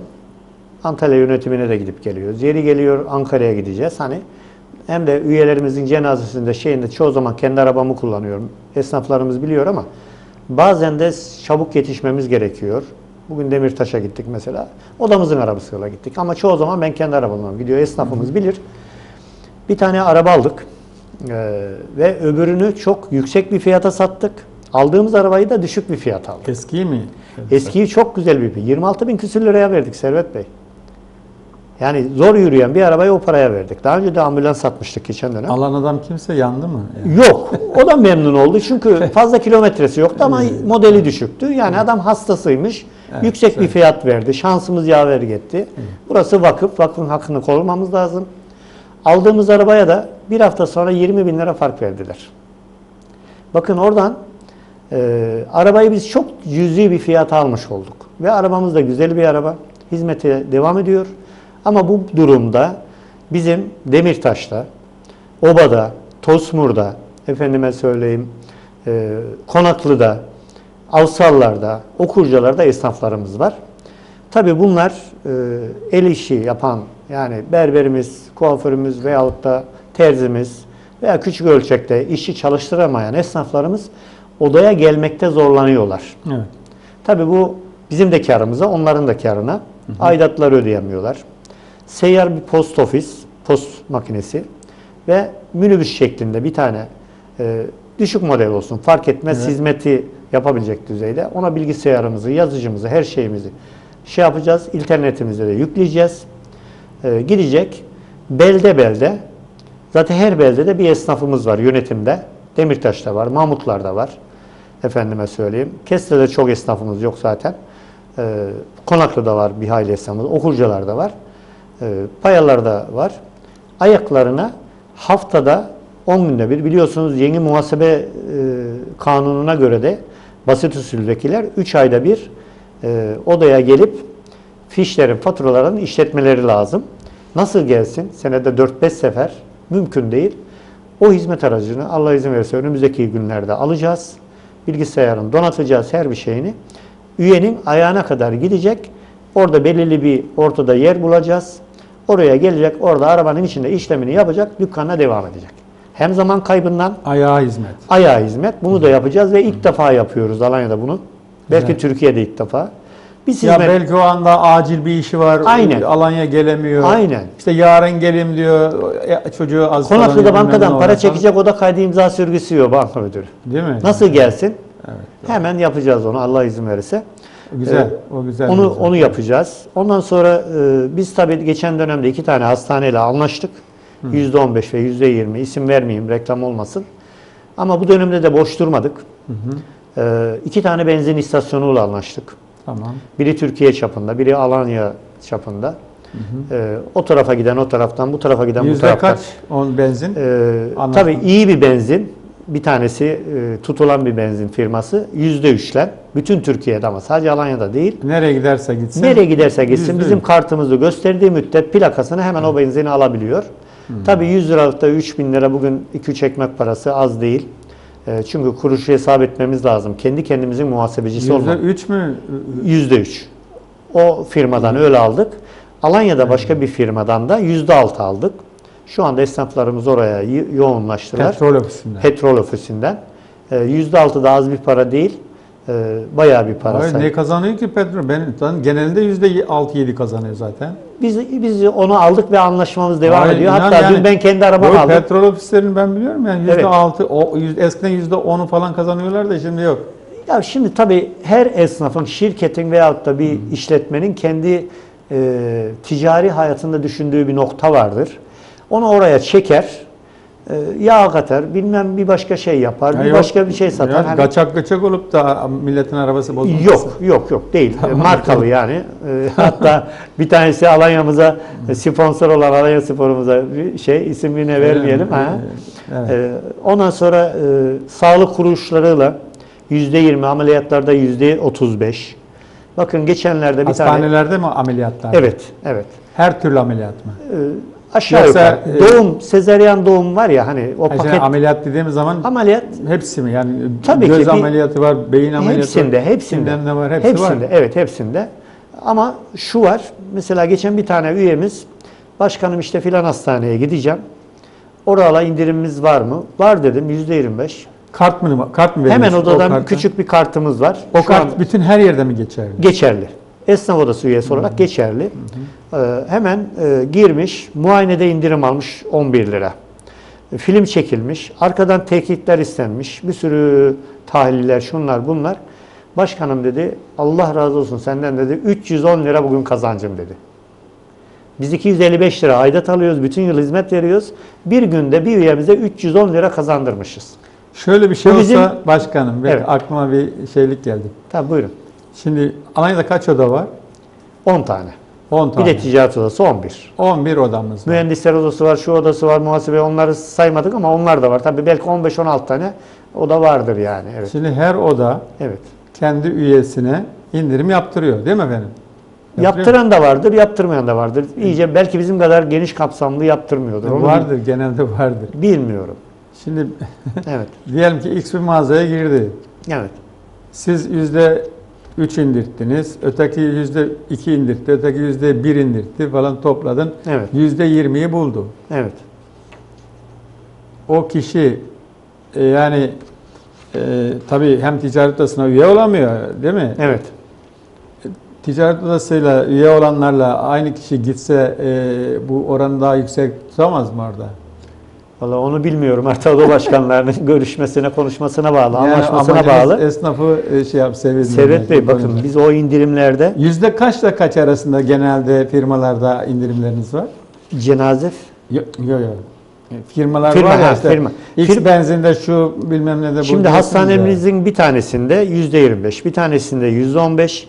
Ee, Antalya'da yine bir hastanemizde anlaşmamız var birlik kanalı. Onda da yüzde 25 çoğu Alanyalı esnafımız ve Alanyalılar oraya gidiyor. Gayet güzel. Meşhur bir yer. Hı hı.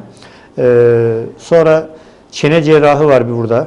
Onunla indirimimiz var. Biliyorsun Alanya'da çok motor kazaları var. Çene kırıyor şu bu. Çenesi çok mu kırılıyor insanların? Var. Ee, ölmezse çene gidiyor zaten biliyorsun motorda. Yok, e, çenesini mi tutamıyorlar yoksa çenesi mi kırık? Yok. Yani. Başlık maalesef takmıyorlar. Kazada da Ha, önce kafa zarar görüyor ve ölümlerle sonuçlanıyor. Bu sene bayağı kurban verdi Alanya. Şimdi e, yabancı dil veren e, özel dershaneler var. Oral anlaşmamız var. Hem de yüzde 45. Yani 1000 lira verecekse 650 lira Devletin verecek. katkısı var mı bu eğitim konusunda? Yok. Sadece bizim oda. Mesela olarak. fuarlara Bir şurada üyemizin çocukları açtı mesela. Hem üyemiz kazanmış oluyor hem bize kayıtlı.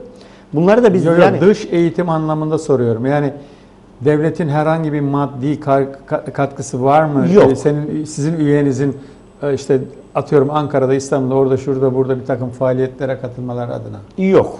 Yok. O şekil yok. Tamam. Peki. Ticaret odasının COSGAP girişimli var da mesela Avrupa'ya şuraya buraya gezmeye götürüyorlar mesela. Sizin yok. İş adamları. Ee, onu da devlet COSGAP, hayır biz de giriyoruz zaten bizim esnafımız da gidebiliyor. COSGAP destek alıyor öyle gidiyor. Yok onlar ticaret odası para istiyor. Kaç e, bilmem euro a- alıyor senden. Evet.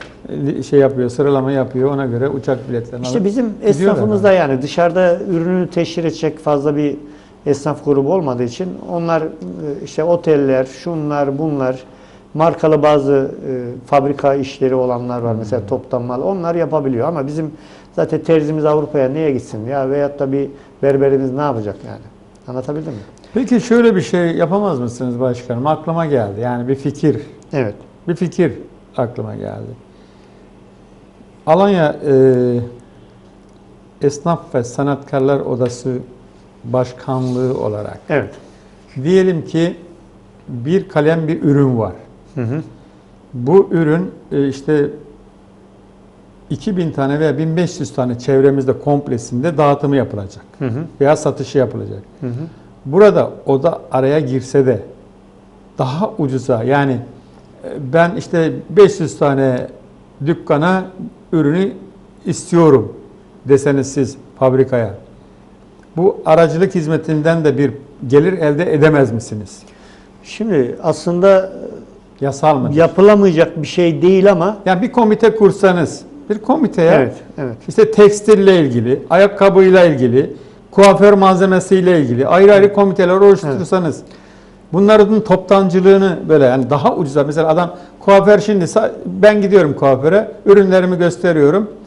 İşte şu ürün 20 lira diyorum ben. Evet. Alıyor o kişi alıyor ama toptanını alırsam oda olarak daha 8 liraya Onu- versek olmaz mı? onu yani ş- 7 liraya versek olmaz mı? Yani o güzel fikir, iyi bir çalışma olabilir ama e, şöyle olmaz Servet Bey. Şimdi bakın, e, Takibini yapamaz mısınız? hayır hem takibi yapması çok zor. O Neden? şekil odaların ticari amaçlı kurmuş olduğu bütün kooperatifler battı gitti. Bakın bizim eski oda başkanımız çok eski. Bir market gibi bir şey yapmıştı. Ticaret odasının altında orada başka bir bina vardı eskiden hatırlarsan. Sonuç sıfır elde var sıfır kapattılar.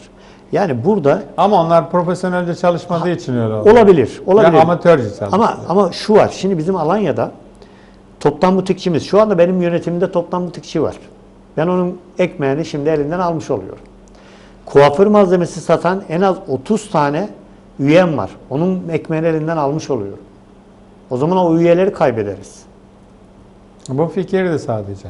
İşte yani demek istediğim burada bu sizin dediğinizde belki 2-300 tane esnafa zarar vermiş oluruz bir. Ama öbür tarafta sizin dediğiniz 1000 1500 esnafa faydamız olur. O ayrı mesele. Fakat bunun takibi e, Hayır ben bunun neden mes- bu fikrin nereden doğduğunu söyleyeyim mi? hayır güzel bir şey. anlatayım ama, anlatayım. Çay şeker olur da mesela kahvecilere Ya bazı kalemlerde Ama- olabilir. Mesela Ha, ben bu fikri hepsinde nereden- olamaz. Bunu neden söyledim? Evet. Yanlış anlamayın lütfen. Şimdi Alanya limanında biliyorsunuz bir sürü tekne var. Evet. Doğru mu efendim? doğru O size bağlı değil. değil. Değil. Orada nereden Ticaret baksan odasının- 60-70 tane tekne var mı efendim? Var. Ee, yurt dışından gelen turist konsepti belli zaten. Doğru mu efendim? Orada bir kooperatif var, kooperatif. Ben diyorum ki, ey kooperatif, bu ajantalarla muhataplığını sen yap. Protokolü sen yap. Bu gelen grubu sırayla işte bir nolu sırada kim var? Senin teknen var, benim teknem var. Öte böyle sıralanıyor. Gelen grubu sen bindir gitsin, bindir gitsin sayısına göre. Hepsi para kazansın. E biri dolduruyor, öteki dolduramıyor. Biri dolduruyor, öteki dolduramıyor. Şey yapamıyorlar. İşte bir disiplin getireceksiniz. Gömlekli, bilmem neydi, kaptanlı, bilmem ne falan. Giyimi, kuşama her Tabii şeyde. bunları yapın dedim ben. Bunları yapın. Kooperatif. Ben orada esnaf yani tekne sahibi kalkıp ya ben işte ajantadan çekimi alamadım, paramı alamadım diyecek. Direkt kooperatiften alacak parasını. Kooperatifte avukat olacak. Bitti. hepsi. Ama o her bir satıştan da 1 dolar alacak şey. 1 doları Oranın atalım. gideri çöpe. için tabii tabii. 1 dolar ya. Evet, Kişi başı doğru. 1 dolar, 1 TL alsın yani. Güzel bir fikir yapabilirlerse Şimdi bakın ama bu bir e, profesyonellik gerektiren bir sistem. bir de gelen turiste güven verir yani. Aynen bu anlamda. Yani benim muhatabım kooperatif. Bana ne acenta ya. Doğru. Acentayla kooperatifim anlasın. Değil mi efendim? Kaç anlaşırsa anlaşsın o gün senin tekneni Tabii. doldursun. Her sene bakın kazan. bunu tekrarlasınlar. Şimdi ne oluyor bakın. Benim teknem e, bir turisti atıyorum 10 dolara götürüyor. Baktım benim tek öbür senin teknen boş götüremiyorsun. Beş. 8'e ini veriyorsun. 7'ye ne oluyor? Bir istikrarsızlık oluyor. kavga oluyor falan. İşte bu kavgaları, dövüşleri, şunları bunları engellemek için tek bir muhatap olan makam Alanya işte bilmem ne kooperatifi başkanlığı olacak. Doğrudur. Bu anlamda söyledim. Yani siz de İşte- olarak bazı kalemlerde İşte bizim bunları yapabilir misiniz? esnaflarımızda olduğu için efendim onları yapamayız ama biz şöyle bu esnafların işte indirimlerden yararlansın diye e, kreş sahibi olan var, e, eğitim danışmanlık merkeziyle olan var, özel akşam lisesi var. Bakın e, adam lise 2'den terk etmiş veya orta 1'den 3'ten terk etmiş. Diplomasını alabilecek akşam lisesi var. Yani onlarla Oraya an- gidiyorlar. Tabii anlaşmamız var. Kargola var. E, ko- e, tüp gazlarla var. Petrollarla var. Çelik eşyalarla var. E, efendime söyleyeyim. E, polikliniklerle var. E, yani gözlükçülerimiz de var. Bakın gözlük alıyoruz. Devletimiz iki seneye bir biliyorsun numaralı gözlük veriyor. Hatta güneş gözlüklerinde bile %50 indirimle yani 100 liralık gözlüğü 50 liraya aldırıyoruz. Zaten devlet bir kısmını karşılıyor ve bu gözlükçüler bizim üyelerimiz. Kendi üyelerimizde kendi üyelerimizi pazarlığını yaptırıyoruz.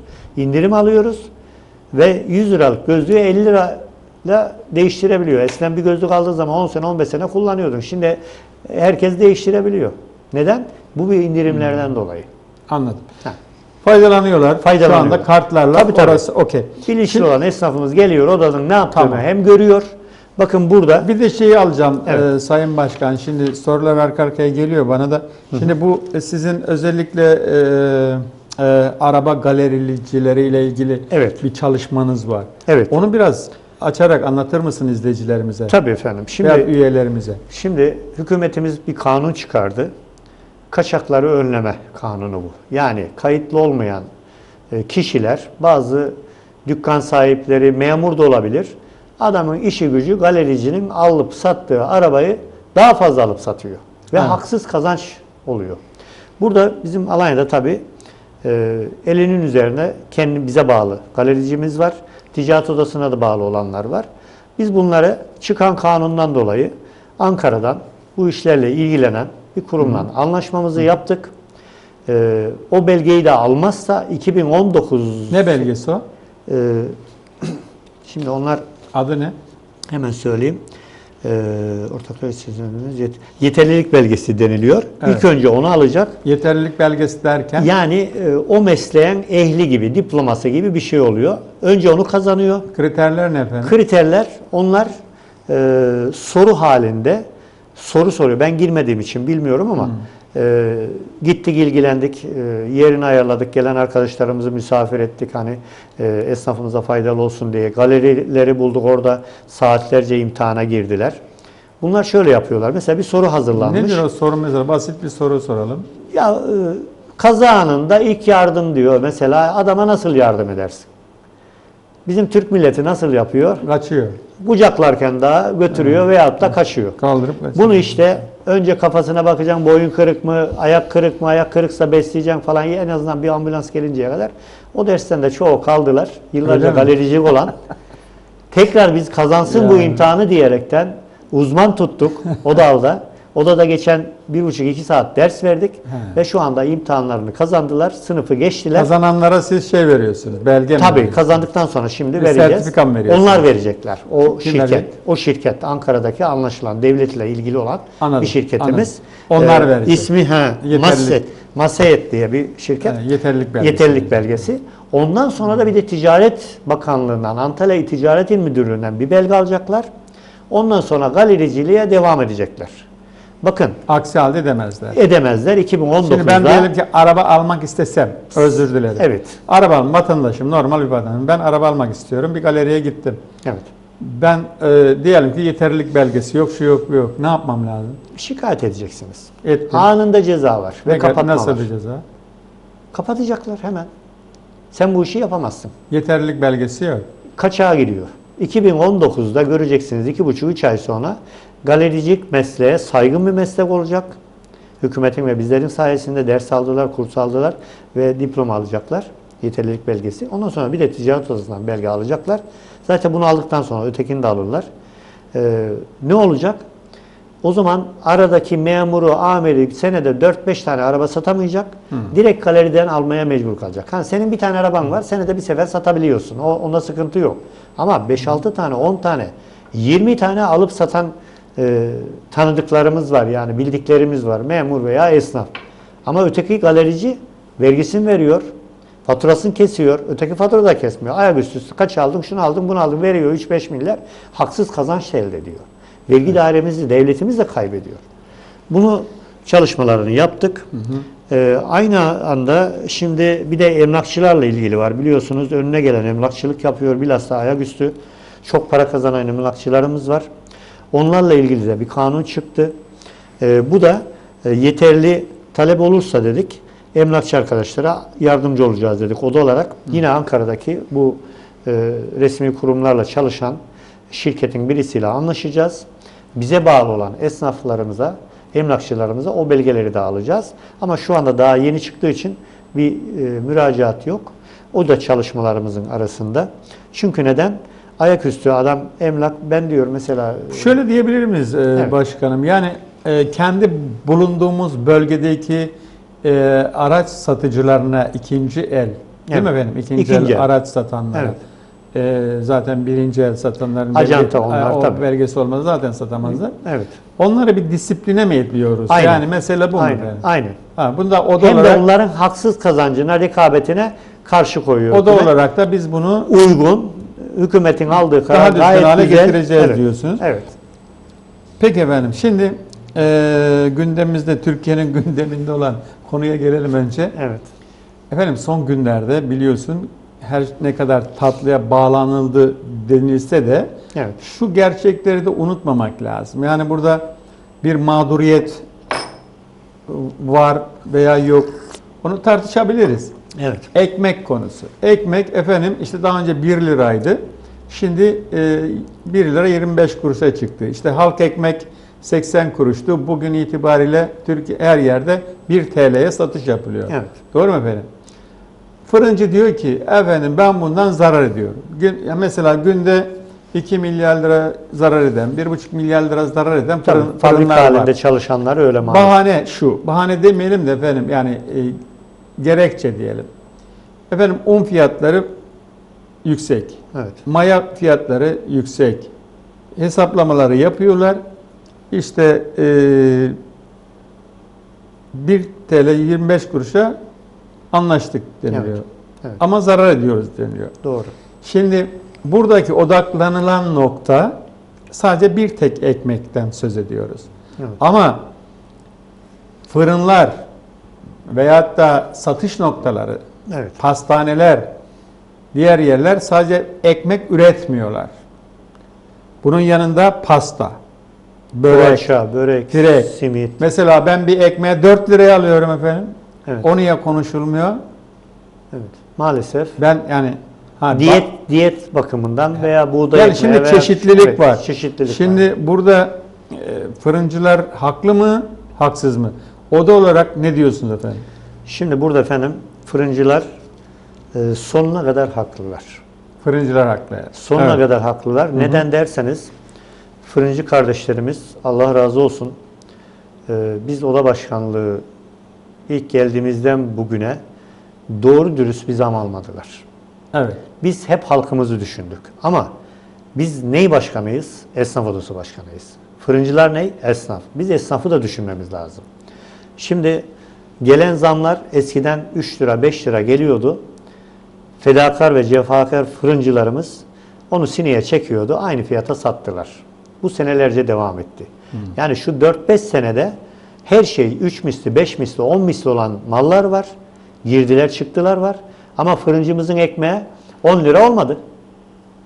Ve yüzde 40, yüzde 60 zamlar var Servet Bey.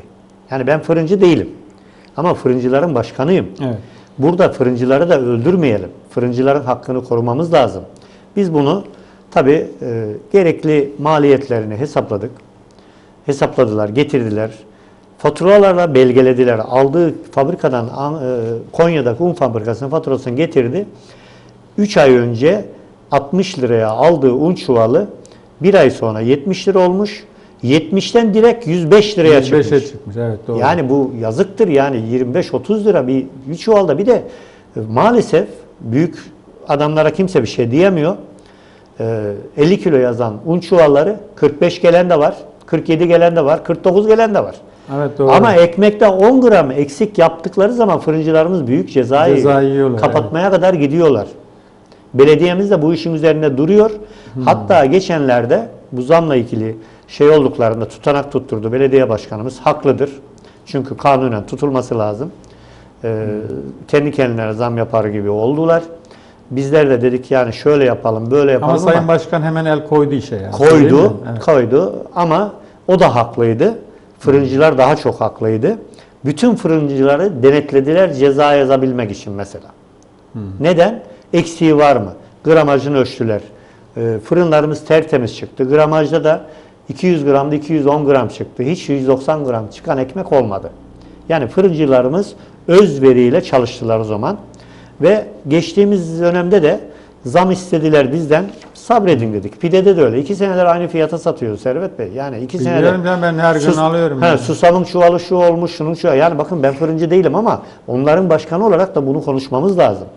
Evet Un- doğrudur. un Yo, çuvalı- ben gü- günübirlik takip ediyorum. Aynen. Bunu. Evet. Ondan sonra e, elektrik yüzde 45 zam olmuş iki ay içerisinde. Su yine öylesine. Maya yine öylesine.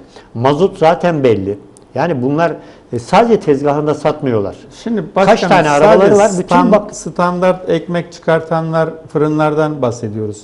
Ama bazı fırınlar var çok çeşitli ürünler çıkartıyor. Evet. O, o çeşitlilik ortaya çıkınca zarar ediyorlar mı etmiyorlar? Mesele bu. Onlar olmasa zaten ayakta duramazlar Servet Bey. Bakın orada bir simit de y- y- bir 25 kuruş. Poğaça 1,5 lira misal 2 liraya satılan gramına göre şeyler var. Dediğiniz gibi çeşitli ekmekler var. Baklava yapan var. Yani yufka satan bile fırın var. Yani eğer o çeşitler olmasaydı bu ekmeğe zaten bu fiyata verme şansları yoktu. Şu anda batar giderlerdi. Bakın Alanya'nın ilk fırıncısı şu anda neyi kaldı biliyor musunuz? Hiçbir şey kalmadı. Bir tanesi geçen sene kalp krizinden öldü. En eski fırıncılar. Bir tanesi şu anda tefecinin elinde bitmek üzere. Bir tanesi bilmem neyin elinde. Yani sıkıntılar çok büyük. Yani bu ayakta duran arkadaşlarımız e, çeşide girdiler, pastane açtılar, bilmem e, baklava yaptılar, şunu yaptılar, bunu yaptılar. Belki içinde ticari amaçlı inşaat yapan arkadaşlarımız da var. Yan gelir oraya. Evet yan Değil gelir mi? olarak Evet, kendi binasını yaptı öyle yani. Yoksa Evet, doğru. normal e, Gedevet'teki bilmem neredeki fırıncı duman yani. Bir un çuvalı bile alamıyor ve eskiden kamyon kamyon fabrikalar un çuvalı yolluyordu. Bu doların yükselmesinden dolayı parayı hesaba gireceksin ondan yükleyeceğim diyor. Parayı Tabii, yatırıyor tabii, ondan tabii. sonra Doğru, yani doğru. alamaz oldular. Sıkıntı büyüdü. Asgari ücretten sigorta Peki prim- nereye kadar dayanabilirler bu Şimdi işte süreci? Nasıl- şöyle ne, ne kadar biz son olarak şunu yardımcı olduk. Oda olarak. Şöyle yardımcı olduk. Ee, tabii onlar 1.25'ten aşağı biz Sadece, satarsak sadece siz mi? mahvoluruz sadece dediler. sizin e, esnafınız mı ekmek yiyor memlekette? yo hepsi. Ya bütün odalar niye ortak bir şey yapmıyor o zaman? Şimdi bize bağlı olduğu için ticaret odasıyla bizim üyemiz var. Başka odalarda yok. Onun için bizi yükü bizde, derdi bizde, sıkıntıları bizde. Bir kuruş zam verdiği Siz, zaman küf- da siz küflü ekmek mi yesindesin dediniz? yok. Onu işte açıklayacağım ben. Nedir Ma- o? Bir hikaye var. Nedir? o? Servet Bey şöyle söyleyeyim. Biri saçmalamış da ondan diyorum. Kendisi kendisi ben 5 yıllık başkanlığımda ilk defa odaya gelen bir gazeteciyim diye geçiren bir şahıs. Ben şöyle söyledim ona. Dedim ki böyle böyle Ga- gazeteci mi geldi sizin? gazeteciyim diyor. Kayıtlı mı değil mi onu da bilmiyorum. Yani soytarın tek o zaman yani böyle saçmalık olur bilmiyorum. mu? Bilmiyorum. Evet ben, buyurun. evet. ben bana e, Sabah gazetesine manşet attırdı Akdeniz'dekine. Evet. Öyle mi? Yani e, yukarıdaki Siz ne dediniz? Benim söylediklerim aynen şöyle. Ben fırıncıyla komşuluk yaptım. 35 yıl. Adam battı çıktı gitti. Almanya'dan gelen bir kardeşimiz kop bir komşum. Şu anda bir emekli maaşına bakıyor. Hiçbir şey kalmadı. Doğru. Bu arkadaşımızın fırınında ben görüyordum. Gelen kişiler böyle ekmeğe sıkıştırırdı. Eliyle. Neden? En iyisi hangisi, en pişik hangisi, en büyük hangisi onu alıyordu. Allah Allah. Ama bayramda bir gün baktım dükkan kapalı o gün ekmek çıkmamış. Orada bir tane nöbetçi veya çırak kalfa kalmış veya tezgahtar. Bayat ekmek yok mu diyor. Önceki ekmeğe beğenmeyen Alanya'daki yaşayan halkımızdan birisi Bayat bayat ekmek. ekmek, soruyor. Küflü değil ama. Değil. Ben bunu Allah dedim yokluğunu göstermesin. Şu anda fırıncılarımız özveriyle çalışıyor. Zararını da olsa Alanya'ya ekmeksiz koymadılar. Çalışmalarına devam ettiler. Çünkü Alanya halkıyla ekmek yiyorlar. Alanya halkından geçim yapıyorlar. Alanya halkına da kötülük yapmıyorlar. Nankörlük de yapmadılar dedim. Bunu e, başka ülkelerde veya Ankara'da İstanbul'da görüyoruz bazen face'lerde siz de görmüşsünüzdür. Evet. Çöp kutusundan ekmek topluyor. Doğru. Allah dedim o durumlara düşürmesin hiç kimseyi dedim. Bunu Alanya halkına tehdit etti. Küflü ekmek yedirecek. Efendim bilmem ne yapacak.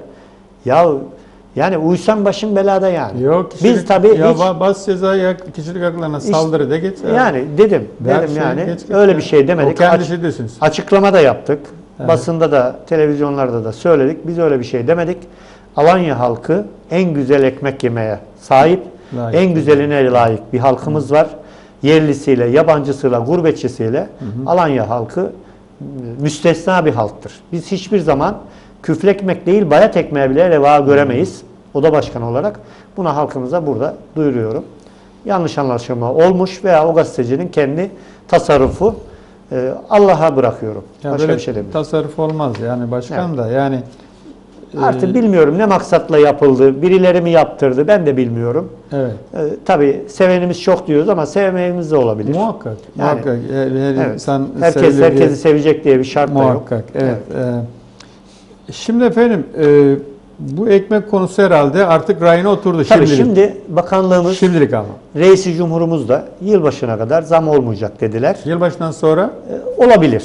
Çünkü Ne olacağını da bilmiyoruz. e, bilmiyoruz tabii. Şimdi o zaman on- şu anda iki aylık bir sürecimiz mi var? evet, evet. iki ay daha mutlu muyuz? İki ay ama mutluyuz. Sonra Fırıncılarımız bakın Servet Bey şunu da yaptı. yeni yıla mutsuz gireceğiz. 200 anlaşılan bu. gram tabii 200 gram ekmeğe 250'ye çıkardılar. Evet. Çünkü neden? Hepsi tezgahında satmıyor. Bakkal bakkal dolaştırıyor. Kaç kilometre gidiyor? 50 ekmek satabilmesi için. Doğru. Akşamüstü de gidiyor 10-20 ekmeğini geriye getiriyor. Ne yapsın o adam? Mazot yakıyor bilmem ne yapıyor. Başkanım dediler yani en azından ondalık veriyoruz bakkallara şu bu. Hiç olmazsa hep elimize hani normal bir para geçsin. Biz zarara razıyız. En azından zararımızı buradan kurtaralım verdiğimiz ondalıktan. Biz 250 gram, 50 gram fazla yapalım. 1.25 olsun ve burada bakanımızın da söylemiş olduğu bu. 1 kilo ekmek 5 lira. 250 gramı ne ediyor? 1.25. Şu anda fırıncılarımız hükümetin, belediyemizin ve bizim e, kendi kararlarıyla beraber toplu karar aldık. E, şu anda e, Antalya'dan ve bizden o karar çıktı. Bakanlığımız da zaten onaylar çünkü kendileri zaten o Evet, evet. şeyi söylediler. Evet. Fırıncıların hiçbir sıkıntısı yok. Kanuna uydular. E, hizmet etmeye devam ediyorlar. Allah sağlık versin hepsine. Tabii tabii. Önce sağlık başkanım da yani şimdi Şimdi e, bu, tabii bu ekmek konusu çok Orada fırıncılar da Yani tenkit etmedi. Ben de tenkit etmedim efendim. Fırıncılardan tenkit. Esnaf Odası Başkanı'ndan ya öyle bir şey koca 300 bin halka kim karşısına alır ya? Böyle bir şey olabilir mi? Bu kadar cahil miyiz? Bakın üniversite mezunu çocuklarımız var fırıncılarda. Ama Evet, o işi biliyorum. yapıyor. Biliyorum. biliyorum Cahil başkanım. değil. Adam senden benden daha bilgili. Yani Aynen ayıptır yani bunlara bu iftiraya atmak. Ben üzüldüm yani. Evet evet. Evet. Ee, bu şeyler var başkanım ya. e, banka e, kredi faizleri Evet. ni siz nasıl değerlendiriyorsunuz? Yani esnaflara e, banka kredisi alırken herhangi bir güçlük çıkartıyorlar mı? Şu an için söylüyorum. Şimdi şöyle. Çünkü ben duydum geçenlerde Evet. özellikle bazı yani isim vermeyeyim ama evet. devlet bankası olarak söylüyorum. Çok zor veriyorlar. Ya gittik abi diyor. Ya hiçbir şeyimiz de yok diyor aslında sıkıntımız da yok diyor. Vermediler diyor. Doğru. Şimdi Servet Bey tabii biz e, Ankara... Neden vermediklerini sonra ben bul- buldum da meğerse o banka satılıyormuş efendim Araplara. Neyse onları biz bilemeyiz. Onlar büyük işler. Ama biz geçen 15-20 gün önce büyük başkanı seçimine gittik Antalya yönetiminde olduğumuz için. Reisi Cumhurumuz da geldi. Eski Başbakanımız, Meclis Başkanımız Binali Bey de geldi. Konuşmalar yaptılar, dinledik. Tabii şu anda Türkiye bir zor dönemden geçiyor. Bu kolay değil.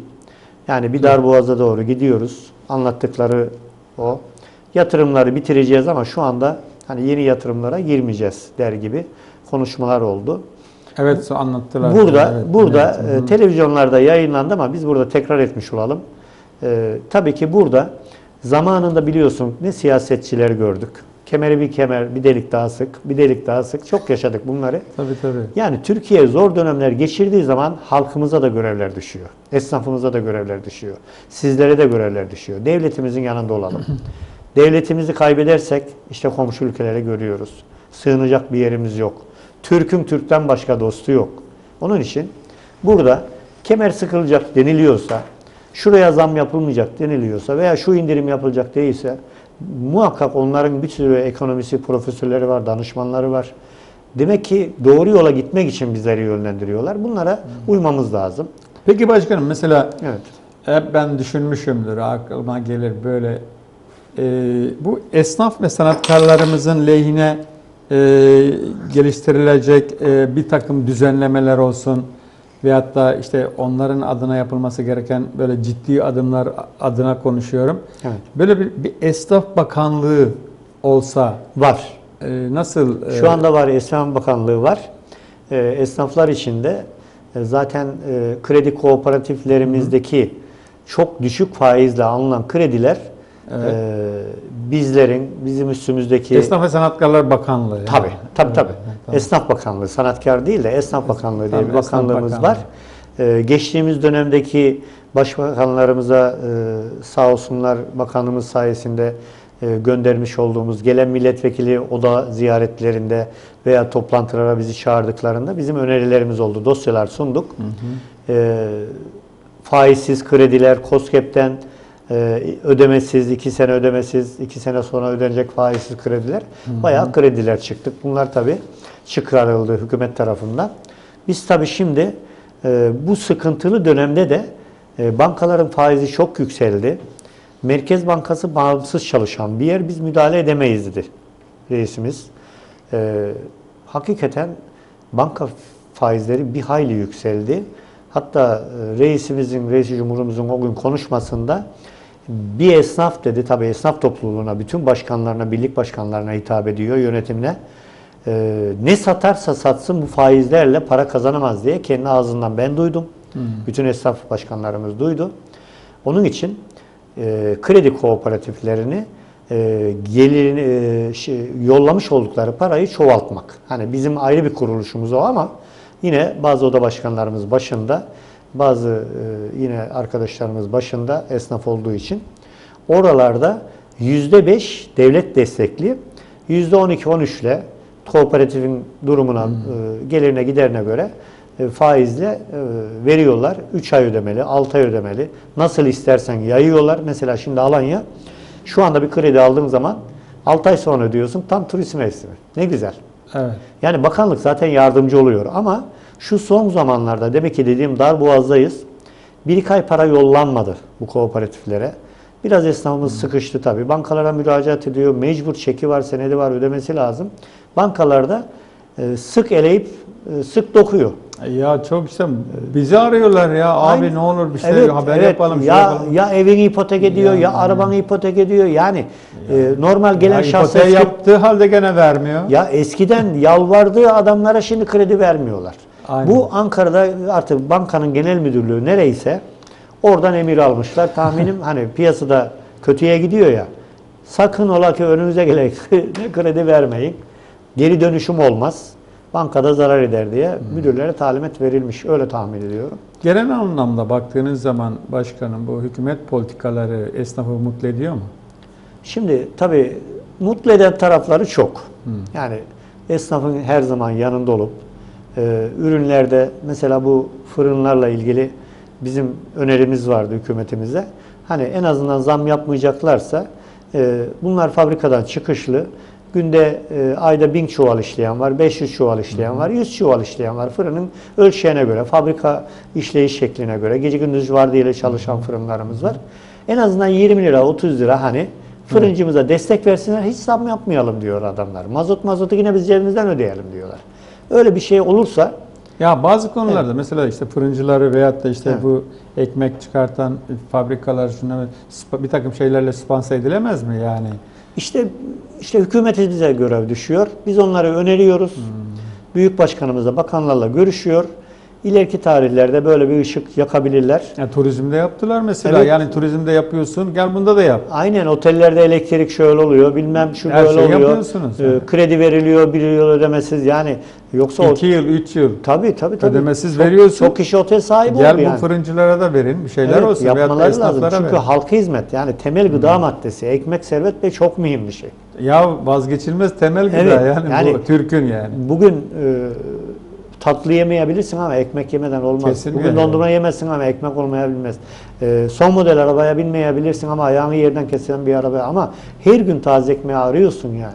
Ya biz arıyoruz, Türk milleti olarak arıyoruz. Aynen. Avrupa'da pek Avrupa'da böyle bir şey yok poşetli da. yani. bir hafta 10 gün yeniyor yani. O Evet. ekmekleri tercih ediyorlar. Maalesef Bir arada bir- zaten poşette satılsın Poşete falan geçtiler. filan. Bütün fırıncılarımıza o zamanki bakan e, poşet makinesi aldırdı. Sonradan Şimdi çalış- kullanılmıyor değil mi? Kullanılmıyor. Yazık yani. Ya Allah'ım ya. Bu ruhsatlandırma işlemlerini odalar yapsa ne olur? Yani siz yapsanız. Valla şöyle e, tabii e, belediye geliri olan bir yer burası. Tabii ki bizler yapmış olsak oda olarak çok büyük kazanç sahibi oluruz. Yani esnafımızın da yanında Ya oluruz. aklıma geldi de böyle bir Tabii tabii. Bakın bugün benim odamda e, Belediye mi zarar görüyor? belediye zarar görür. Zaten belediye e, her iş yerinden en az bin lira alıyor. Az para değil. Asat para alıyor, yangın alıyor büyükşehirin. Yani e, belediyenin temel gelirlerinden birisi ruhsatlar. İnşaatlara ruhsat biliyorsun ne kadar verdiklerini. E, bir inşaat yapacakları zaman plan proje aşamasında muazzam para yatırıyorlar. E, yani odaların e, yapması olursa belediye hizmetlerde geri kalır. Evet. Ama biz hizmeti çoğaltırız o zaman öyle bir şey olsa. İnşallah. Şimdi Evet. efendim e, son konuma gelmek istiyorum da şu Evet. Taklit ürünlerle ilgili Evet. Sayın Başkan. Evet. Yani e, ülkemizin ve özellikle de Alanya'mızın en büyük sorunlardan, esnaf sorunlarından bir tanesi Evet. taklit ürünler ve taklit ürünlerle ilgili hukuksal bazda yapılan e, özellikle avukatların acımasız davranış biçimleri Evet. esnaflarımızı tedirgin ediyor. Bu anlamda e, bütün oda odalar olarak bir lobi oluşturulamaz mı? Veyahut da işte bütün odalar olarak en az birkaç tane hukuk adamı veya avukat tutulup da bu işin üstesinden gelinemez mi? Ee, biraz daha sorayım. yani burada odanız olarak mücadeleniz nedir efendim? Çünkü bunun için sordum. Evet. Şimdi geçen bir konu geçti. Bir tane kırtasiyeci kardeşimiz şöyle bir kalemin üzerinde, tek bir kalemin üzerinde bir marka yazıyor. Nalet olsun. O marka yüzünden o e, kırtasiyeci e, her gün adliye kapısında. Maalesef. Yakışır mı bu? Maalesef. Ben yani bir kalemden bahsediyorum. iki kalemden değil değil öyle düzünesiyle değil. Ya bir toptan- kalem derken ürün değil. Sadece Değil. tek bir kalem. belki de hediye verdi gelen. Aynen öyle. Şimdi ben küçük bir misal verdim ama çok büyük bir misal. Doğru, doğru. Aslında. Nedir efendim bu konudaki mücadelemiz? Şimdi Servet Bey bizim Çünkü meslek ülke genelini ilgilendiriyor. Neden sadece Alanya'dan çıkıyor bu haberler? İşte bunu anlatacağım. Bizim Alanya'da e, bize bağlı olan kırtasiye, e, kavafiye, ayakkabı, butik, efendime söyleyeyim buna benzer e, meslek dallarında maalesef bu taklit ürünler var. Evet. Ama maalesef bu Türkiye'nin e, yani hükümetin sorunu mu diyelim veyahut da bunu üreten yerleri veyahut e, ihracat, ithalat yapan firmalara niye ceza yazılamıyor da bizim burada esnaflara şey yapılıyor? Biz tabii bunu araştırdık. Orada bir tane toptancıya bir ceza yazılabiliyor. Ama bizim Alanya'da aynı toptancı 300-500 tane iş yerine ve dükkana mal veriyor. Her 300-500 kişiye zabıt tutulduğu zaman ne oluyor? Hem o avukatlar kazanıyor. Ha burada Alanya'daki yaşayan avukatlarımıza ben teşekkür ediyorum. Maalesef hiçbiri bu işe kalkışmıyor. Hep İstanbul'dan, efendim paralı okulda okumuş. Yani onları da küçümsemek değil. Nihayetinde bitirmiş, hukuk diplomasını almış ama. Dışarıdan geliyor. yani. Ha, Evet. e, ondan sonra İstanbul'dan, Ankara'dan yani o markaların e, fabrikası neredeyse veyahut da e, teçhilli markası, genel müdürlüğü neredeyse oralardan gidiyor. Diyor ki ben diyor işte beni, ben Alanya'ya gideyim, size çalışayım, ben sizden hiç para istemiyorum. Sadece bana vekaletinizi verin. Ben gideyim Alanya'da 10 tane, 20 tane dükkandan alışveriş yapayım onlara. Cezayımı keseyim gelin diyor. Maalesef her meslekte olduğu gibi e, orada yeminlerini unutuyorlar. Yeminlerini unutuyorlar. Bizim esnafla ikili pazarlığa giriyor. Yukarıdaki adamın haberi bile yok. Kaldığım otele gel, 3 bin euro ver, 5 bin euro ver, senin zaptı yıkayayım diyor. Ya bugün ben konuştum bir esnafımızla Aynen. diyor ki Aynen, abi diyor geliyor diyor. aynen. O avukat arkadaş Ankara'dan İstanbul'dan Evet. her neyse. Yeni avukat. Şuradan diyor bir tane ayakkabı bakıyor diyor. Alıyor, satın alıyor onu diyor. Veriyor Peşinde diyor. alıyor. Aynen alıyor diyor. Onu tutanak haline getiriyor diyor. Emniyete polis alıp gelip Geliyor ondan sonra cezayı kesiyorlar diyor. Ondan sonra pazarlık yapıyor benimle diyor. aynen. Benden Zaten- diyor 5000 lira alıyorlar diyor. Evet. Ondan sonra yakamı bırakıyorlar diyor. Aynen. Çünkü orada O zaten 10 liralık 15 liralık Tabii ayakkabı. tabii İstanbul'da kalsa zaten onu avukat olarak kimse tutmuyor. Bakın ben Ala- Aslında bugün arkadaşımız şunu da söyledi başkan çok enteresan. Ya diyor benden aldığı zaten taklit ürün diyor. Hadi hadi gitse gitse 3 ay 4 ay gidiyor. Öbür tarafta asıl diyor mesela X bir ayakkabı modelinden aldığı zaman diyor 400 lira veriyor diyor. O da diyor birkaç sene gidiyor diyor. Anlatabildim mi? Doğru, Yani aslında diyor Ama Ya- Servet Bey şöyle, biz tüketici haklarında da bir ara görev aldık. Ee, Alanya'da kaymakam nezdinde. Bize geliyordu ayakkabıdır, giyim şu bu. Bu işte halı malı kendiliğinden mi bozuldu, ne oldu falan diye. Adam en iyi markadan almış. Evet. 500 lira para vermiş. Halı sahada top oynamış ve yırtılmış. Direkt fabrik hatası. Yani o ürünler dayanır diye bir şey yok. tabii tabii onda da Şu anda aksama oluyor. şu yani. anda bakın şuna oluyor. inanalım. Bugün beyaz eşyada e, efendim bazı araba parçalarında bazı bilmem nelerde hiç orijinallik yok. En ucuza nerede mal oluyor? Çin'de. Çin'de yaptırıyor, adam getiriyor, aynı markayı burada satıyor. Evet aynen öyle. Evet.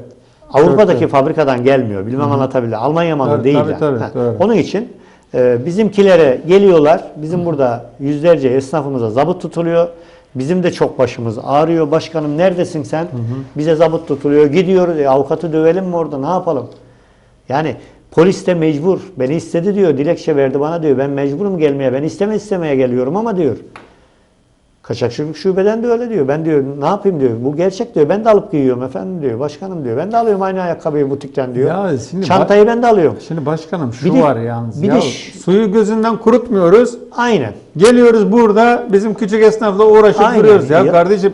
Sen o bu bu, Alan ürün- turist de biliyor bunu. bu ürünü kim üretiyor? İstanbul, Ankara, İzmir. Başka mu? yok.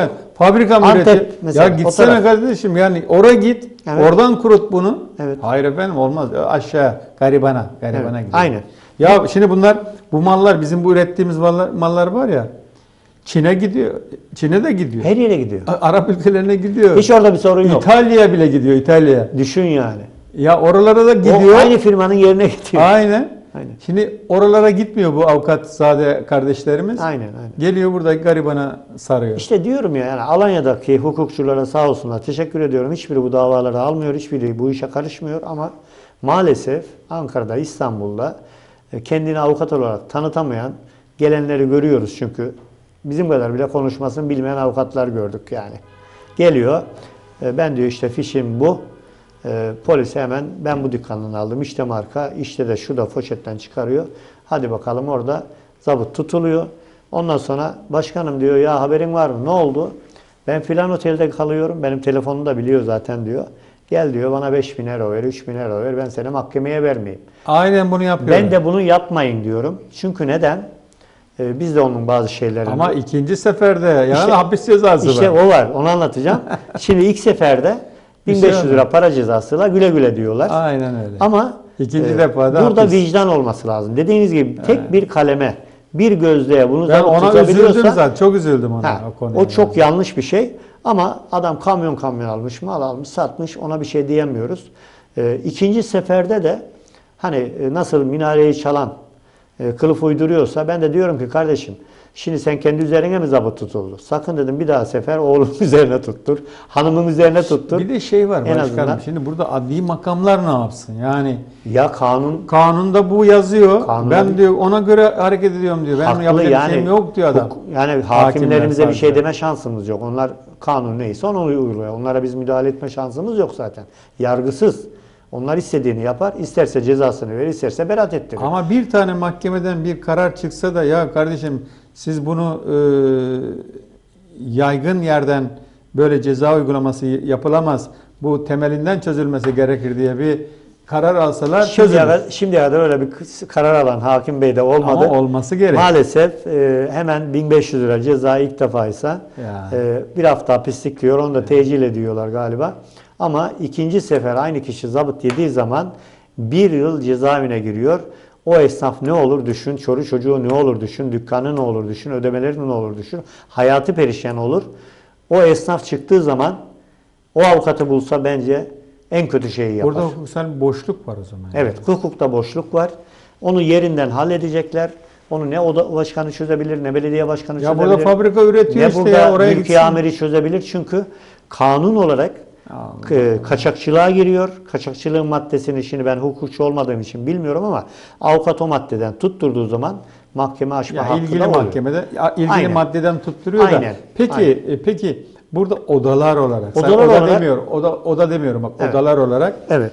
E, birlikte bir lobi oluşturulsa veya dediğim gibi birkaç tane avukat sizi savunabilecek, esnafı savunabilecek e, avukatlar tutulsa olmaz mı? Şöyle Servet Bey biz geçen dönem Karşı koyabilmeleri adına. Geçen dönem ben e, odamız adına 3 tane avukat arkadaşımızla anlaşma aşamasına girdik.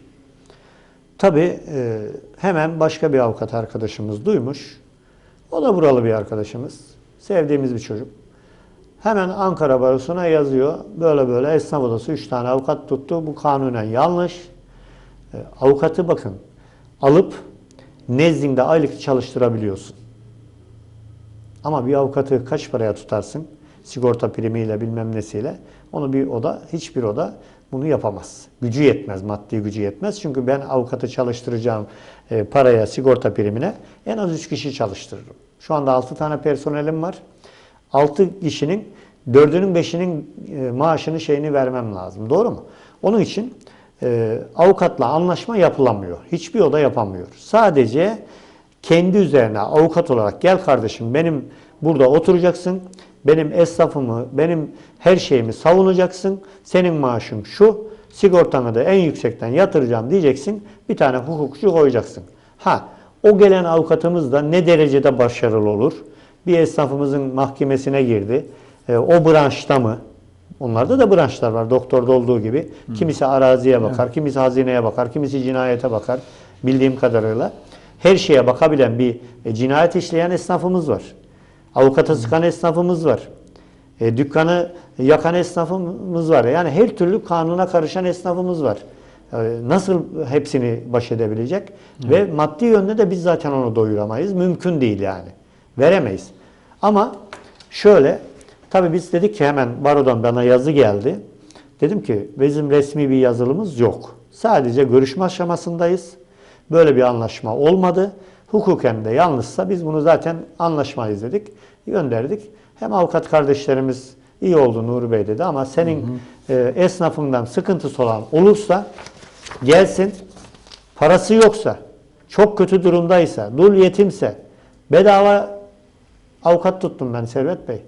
Alanya'da bir tane bizim esnafımızı dolandıran bir tane muhasebeciyim diyen adam, dairesini sattıran adamı muhasebeciler bürosundan attırdık.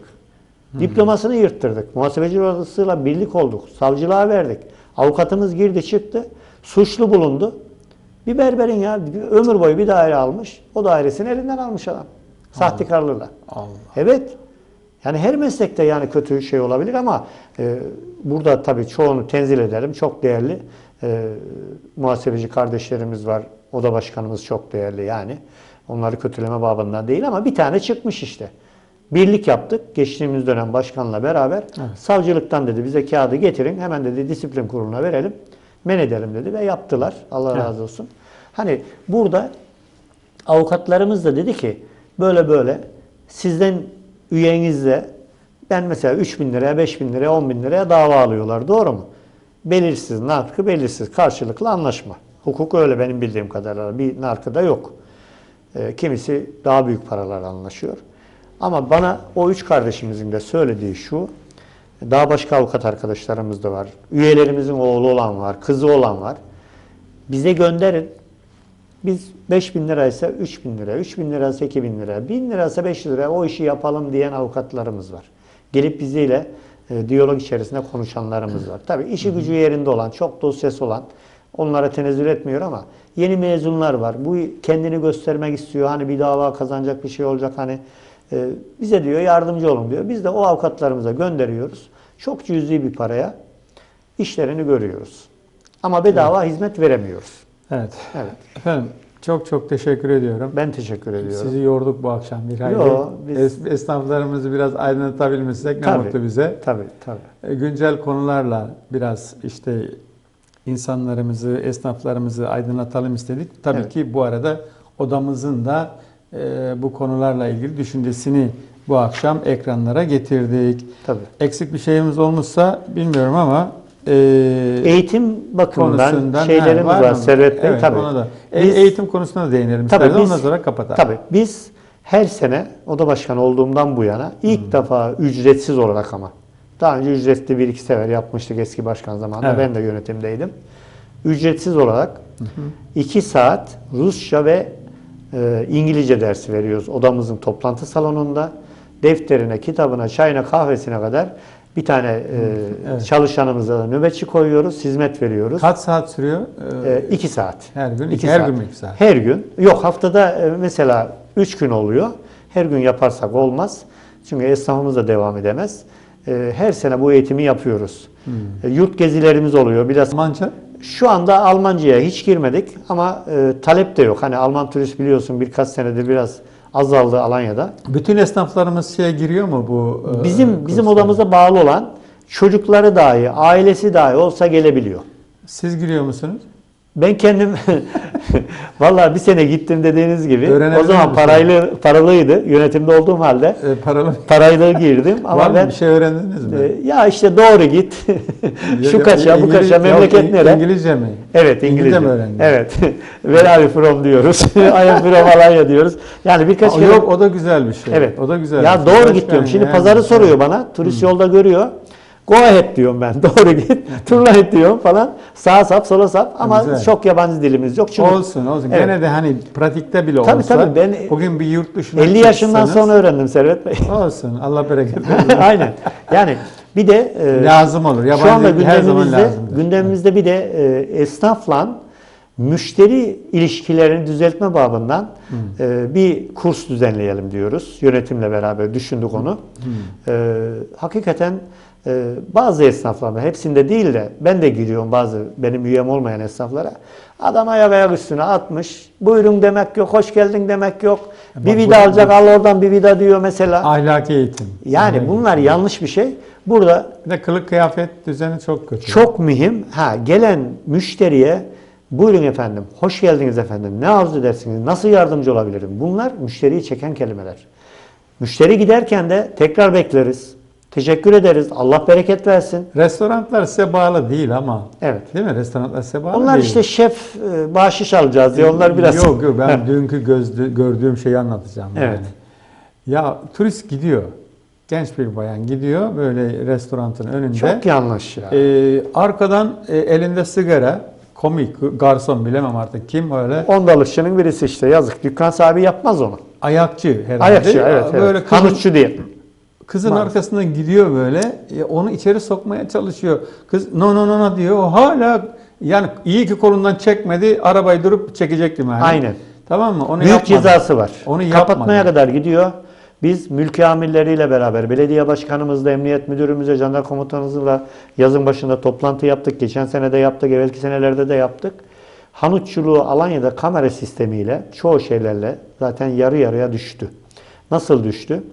Hiç belediye başkanımız taviz vermedi. Hemen 15 gün kapama, 10 gün kapama, kaymakamlık. Ya çok sayıda kapanma var. Aynen. Evet. Yani onlar bir daha yapar mı onu? Sezonun ortasında 10 gün kapama ne demek biliyor musunuz? Her gün kaç milyar zarar. Onun için bayağı önlendi. Kamera sistemleri de gelişti. Daha da gelişecek inşallah. Gitgide iyiye gidiyor. Yani Alanya hakikaten belediye başkanımızla, mülki amirimizle, emniyet müdürümüzle, yeni gelen başsavcımızla hakikaten çok güzel jandarma komutanımızla güzel çalışmalar yapıyorlar. Bunları hepsine ayrı ayrı teşekkür ediyorum Alanya adına, Alanya esnaf adına, Alanya'da yaşayanlar adına. Çok güzel çalışmalar yaptılar geçtiğimiz dönemde. Ee, çok suçlular içeri atıldı. Alanya'da tek tek suç oranları düşmeye başladı. Hepsine ayrı ayrı teşekkür ediyorum. Emeğe geçen hepsine. Ee, güzel olacak. Alanya'mızı çok güzel günler bekliyor. Biz burada esnaflığımızı güzel yapabilirsek, halkımız turisti turist gözüyle değil misafir gözüyle görebilirse, dükkana gelen hanımefendi demek ki dediğiniz gibi bayanı e, karşı cins değil de misafirmiş gibi bir kız kardeşi, bir ablası, bir yengesi gelmiş gibi hürmet ederek karşılarsa Alanya'mız çok şey kazanacak. Şimdi çok güzel bir konuya temas ettin. Bunu da buradan söyleyeceğim. Evet. Dün e, Sayın Tapu Müdürümüzü ziyarete gittim. Hoş geldin ziyaretine Evet. gittim. Oturduk çay çay içiyoruz. E, muhabbet tabii ki. Evet. Tabii ki sağ olsun müdürümüz genç ve dinamik kardeşimiz İstanbul Ben Tuz- gelemedim daha ziyaretine. İstanbul evet. Tuzla'dan Gidemedim. gelmişti. Sağ Evet. olsun. Şimdi e, yeni bir e, çalışma içerisine girmiş. Çok güzel. Bana gösterdi şimdi. Ya Servet Bey bakar mısınız dedi ya. Burası turizmin kalbi yüreği. Ve orada bir lobi oluşturmuştu. e, koltuklar var. Var güzel oturuluyor yani. Evet. E, Evet ama bakın diyor şu yan tarafta diyor turistler var. Şu da bizim yerli. Alanyalı değil yalnız. Adam mal mı almaya gelmiş. Almanya'dandır bilmem Adam neden. koltuğa oturmuş uyuyor. uyuyor. O turist ne yapar? O resmi çekmiş müdürümüz bana gösterdi. Vallahi dedim yazıklar olsun. Ya bak bir turist onu görüyor. Evet. Turist onu görüyor. Orada en azından hani e, O rezilliği gördü. Şimdi Korona- ona yeni bir düzen getireceğim dedi müdür sağ olsun. İnşallah. güzel bir Evet, şey. evet. Güzel bir konu çünkü hakikaten Ya uyuyorlar diyor, geliyorlar. Burada uyuyorlar hepsi diyor koltuğun üstüne. rahat maalesef rahat diyor. bu dolmuşlarda da oluyor. Bazı şeylerde yaşlılara yer vermiyorlar. Yani her yerde biraz ahlaki yönden nedense e, çökmüş. Ama işte o imaj çok önemli. Tabii tabii tabii. O tabii. imaj yabancı turist orada dikeliyor. Şey alacak, daire alacak, başka bir şey alacak, yatırım yapacak. Onu görüyor o turist. Vallahi Servet Bey e, hani sohbet şeyine O bile yanlış. da. O bile yanlış Bakın aslında. ben İstanbul'da eşimle e, gidiyordum. Metrobüsteyim. Bir tane hamile bayan geldi. Genç bir kız ama hamile. Bayağı da günü yakın görünüyor. Hemen kalktım yer verdim. Ve ben yaşlı diyorlar ya bana. Amca sen otur Sizin dedim. ruhunuz genç. Ben onu Ha, biliyorum. aynen başkanım. sağ ol Allah razı olsun. Amca e, siz yaşlısınız oturun falan yok kızım dedim ben sağlıklıyım. Buyurun hanım zaten yanımdaki dedim. Oturdu ve teşekkür etti. Ama öbür tarafta üniversite talebeleri, gencecik İstanbul'da yaşayan nereli olduğunu bilmediğim kişiler kafayı eğiyor da elinde bir tane Yok, akıllı telefon var, müzik akıllı dinliyor. telefon devamlı bir şeylerde Evet. E, ve inerken amca dedi sizi yetiştiren dedi anneye babaya dedi çok teşekkür ediyorum dedi. Kızım dedim anne babalarla olmaz o iş dedim. Sadece anne. tabii, tabii. Kendi içinden gelecek dedim. Aynen, Yani aynen, bu aynen. e, oradaki işte tapu müdürümüzün yaptığı şey orada güvenlik uyaracak. Kardeşim bak burada yabancı turistlerimiz de var. Kötü örnek olmayalım. Ya oturmanı düzelt veya uykun geldiyse in aşağıda kahve var.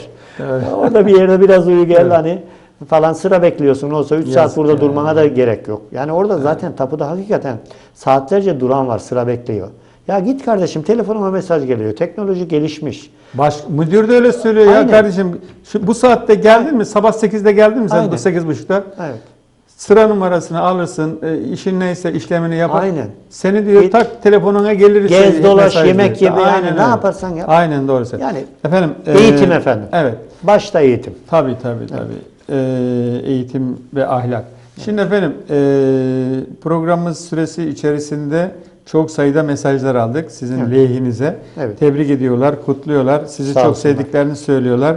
Sağ olun. Ee, her konuda anlatmış olduğunuz konuları desteklediğini söylüyor bütün izleyicilerimiz. Bunu da hemen söyleyeyim.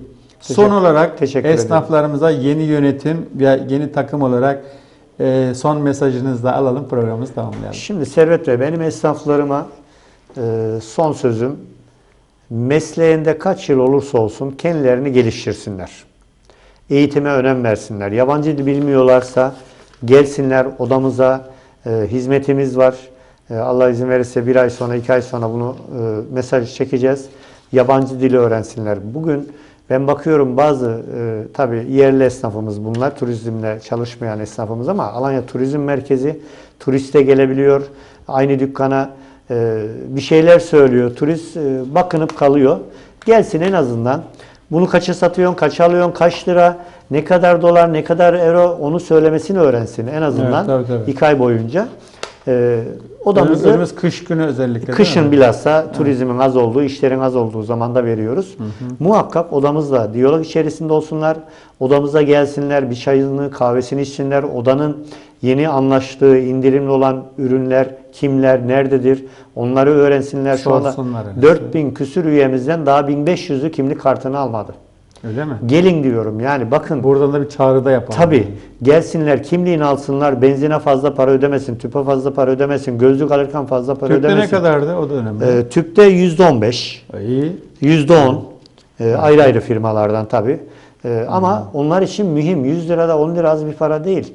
7 8 O- o 10 tane ekmek alır. Tabii yani, tabii tabii yani alır. e, şu anda e, yani e, tasarruf devrindeyiz Servet Bey. Ne olursanız olun bakın ne kadar maaş alırsanız alın, ne kadar işiniz iyi olursa olun. Benim bir sözüm var. Onu çok şey yaparım. İnsan kendi kendinin doktoru olacak. Kendi kendinin muhasebecisi olacak, kendi kendinin avukat olacak. Nedir bu? Yemesine içmesine dikkat edecek. Ne dokunursa yemeyecek. Yani bu da eğitimden geçer tabii. Tabii. Ben kendime yapıyorum işte bunu. Muhasebemi çok güzel yapıyorum. Sicilimi bozmuyorum. Borcumu günlü günlü ödü- ödüyorum. Kefil olup da kaçan esnafımız var. Onu kum bile ödüyorum. Evet. Dokt e, şey avukat da balığın e, ağa girmesine benzer. Cezaevine bir suçlunun girmesi. Balık nasıl girer ağa? Bir dakikada girer çıkamaz ama. Ya başka balık yer orada ya biz tavada yeriz. Doğru mu? Evet.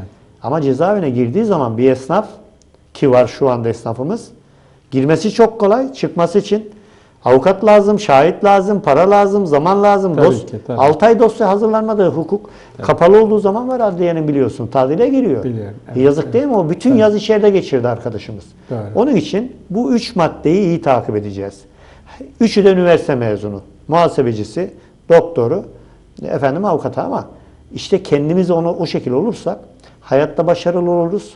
Hiçbir kimseye de muhtaç olmarız. Hiçbir zaman sicilimizi de bozmayız. Kariyerimiz de artar. Her yere vardığımız zaman buyurun diye de hürmet ederler. Evet. Ben teşekkür ediyorum. teşekkür Programımıza ediyorum. katıldığınız için. Çok sağ olun Ayağınıza efendim. sağlık, dilinize sağlık. İnşallah faydalı olmuşuzdur. Bundan sonraki süreçte e, e, odamıza, Alanya e. odamıza, esnaf ve sanatkarlar odamıza başarılar diliyoruz. Ben de teşekkür Yeni ediyorum. yönetim inşallah çok daha iyi çalışmalar yapar. Buradan da yeni üyelerinizi ve kadronuzu kutluyorum. İnşallah. Bir kez daha. İnşallah. Çok teşekkürler. E, her şey Alanya'mız için. Tabii, Tamam tabii. mı? Sizleri de görüyoruz. Sağ olun. Sizlere de ayrıca teşekkür ediyorum olun. Alanya halkına. olun. Dili oluyorsun. Ee, efendim her şey oluyorsunuz. Görüyoruz. Face'lerde paylaşıyorsun. Kimsenin cesaret edemediği konulara dayanıyorsunuz ve o çöz- çözüme kavuşuyor. Alanya halkı adına ve esnafların adına size teşekkür ediyorum. Ee, sizin de başarınızın devamını diliyorum. Allah razı olsun Allah efendim. sağlık versin. Hizmet edelim diyorum. Hepimize önce sağlık. Amin. Efendim bir sentez programını bu akşam burada tamamladık. Konuğum Alanya Esnaf ve Sanatkarlar Odası Başkanımız Sayın Nuri Demir'di. Efendim e, gündemdeki, ülkemizin gündeminde, Alanya'mızın gündemindeki konuları bu akşam masaya yatırdık. Umarım ekranlar başındaki izleyicilerimiz sıkılmadılar. Efendim haftaya e, görüşmek üzere diyorum. E, 799. programda Maşallah. inşallah farklı bir konuğumla birlikte olacağım ama 800. programın konuğunu buradan açıklayabilirim. Alanya Belediye Başkanımız Sayın Adem Murat Yücel olacak 800. programda. Buradan pastamızı keseceğiz hep beraber. Allah nasip ederse diyorum. Efendim bizi izlediniz. E, bu programın yapımında emeğe geçen tüm arkadaşlarım adına hepinize iyi akşamlar diliyorum. Bütün esnaflarımıza huzur, mutluluk ve bol kazançlar nasip eylesin efendim. Hoşçakalın.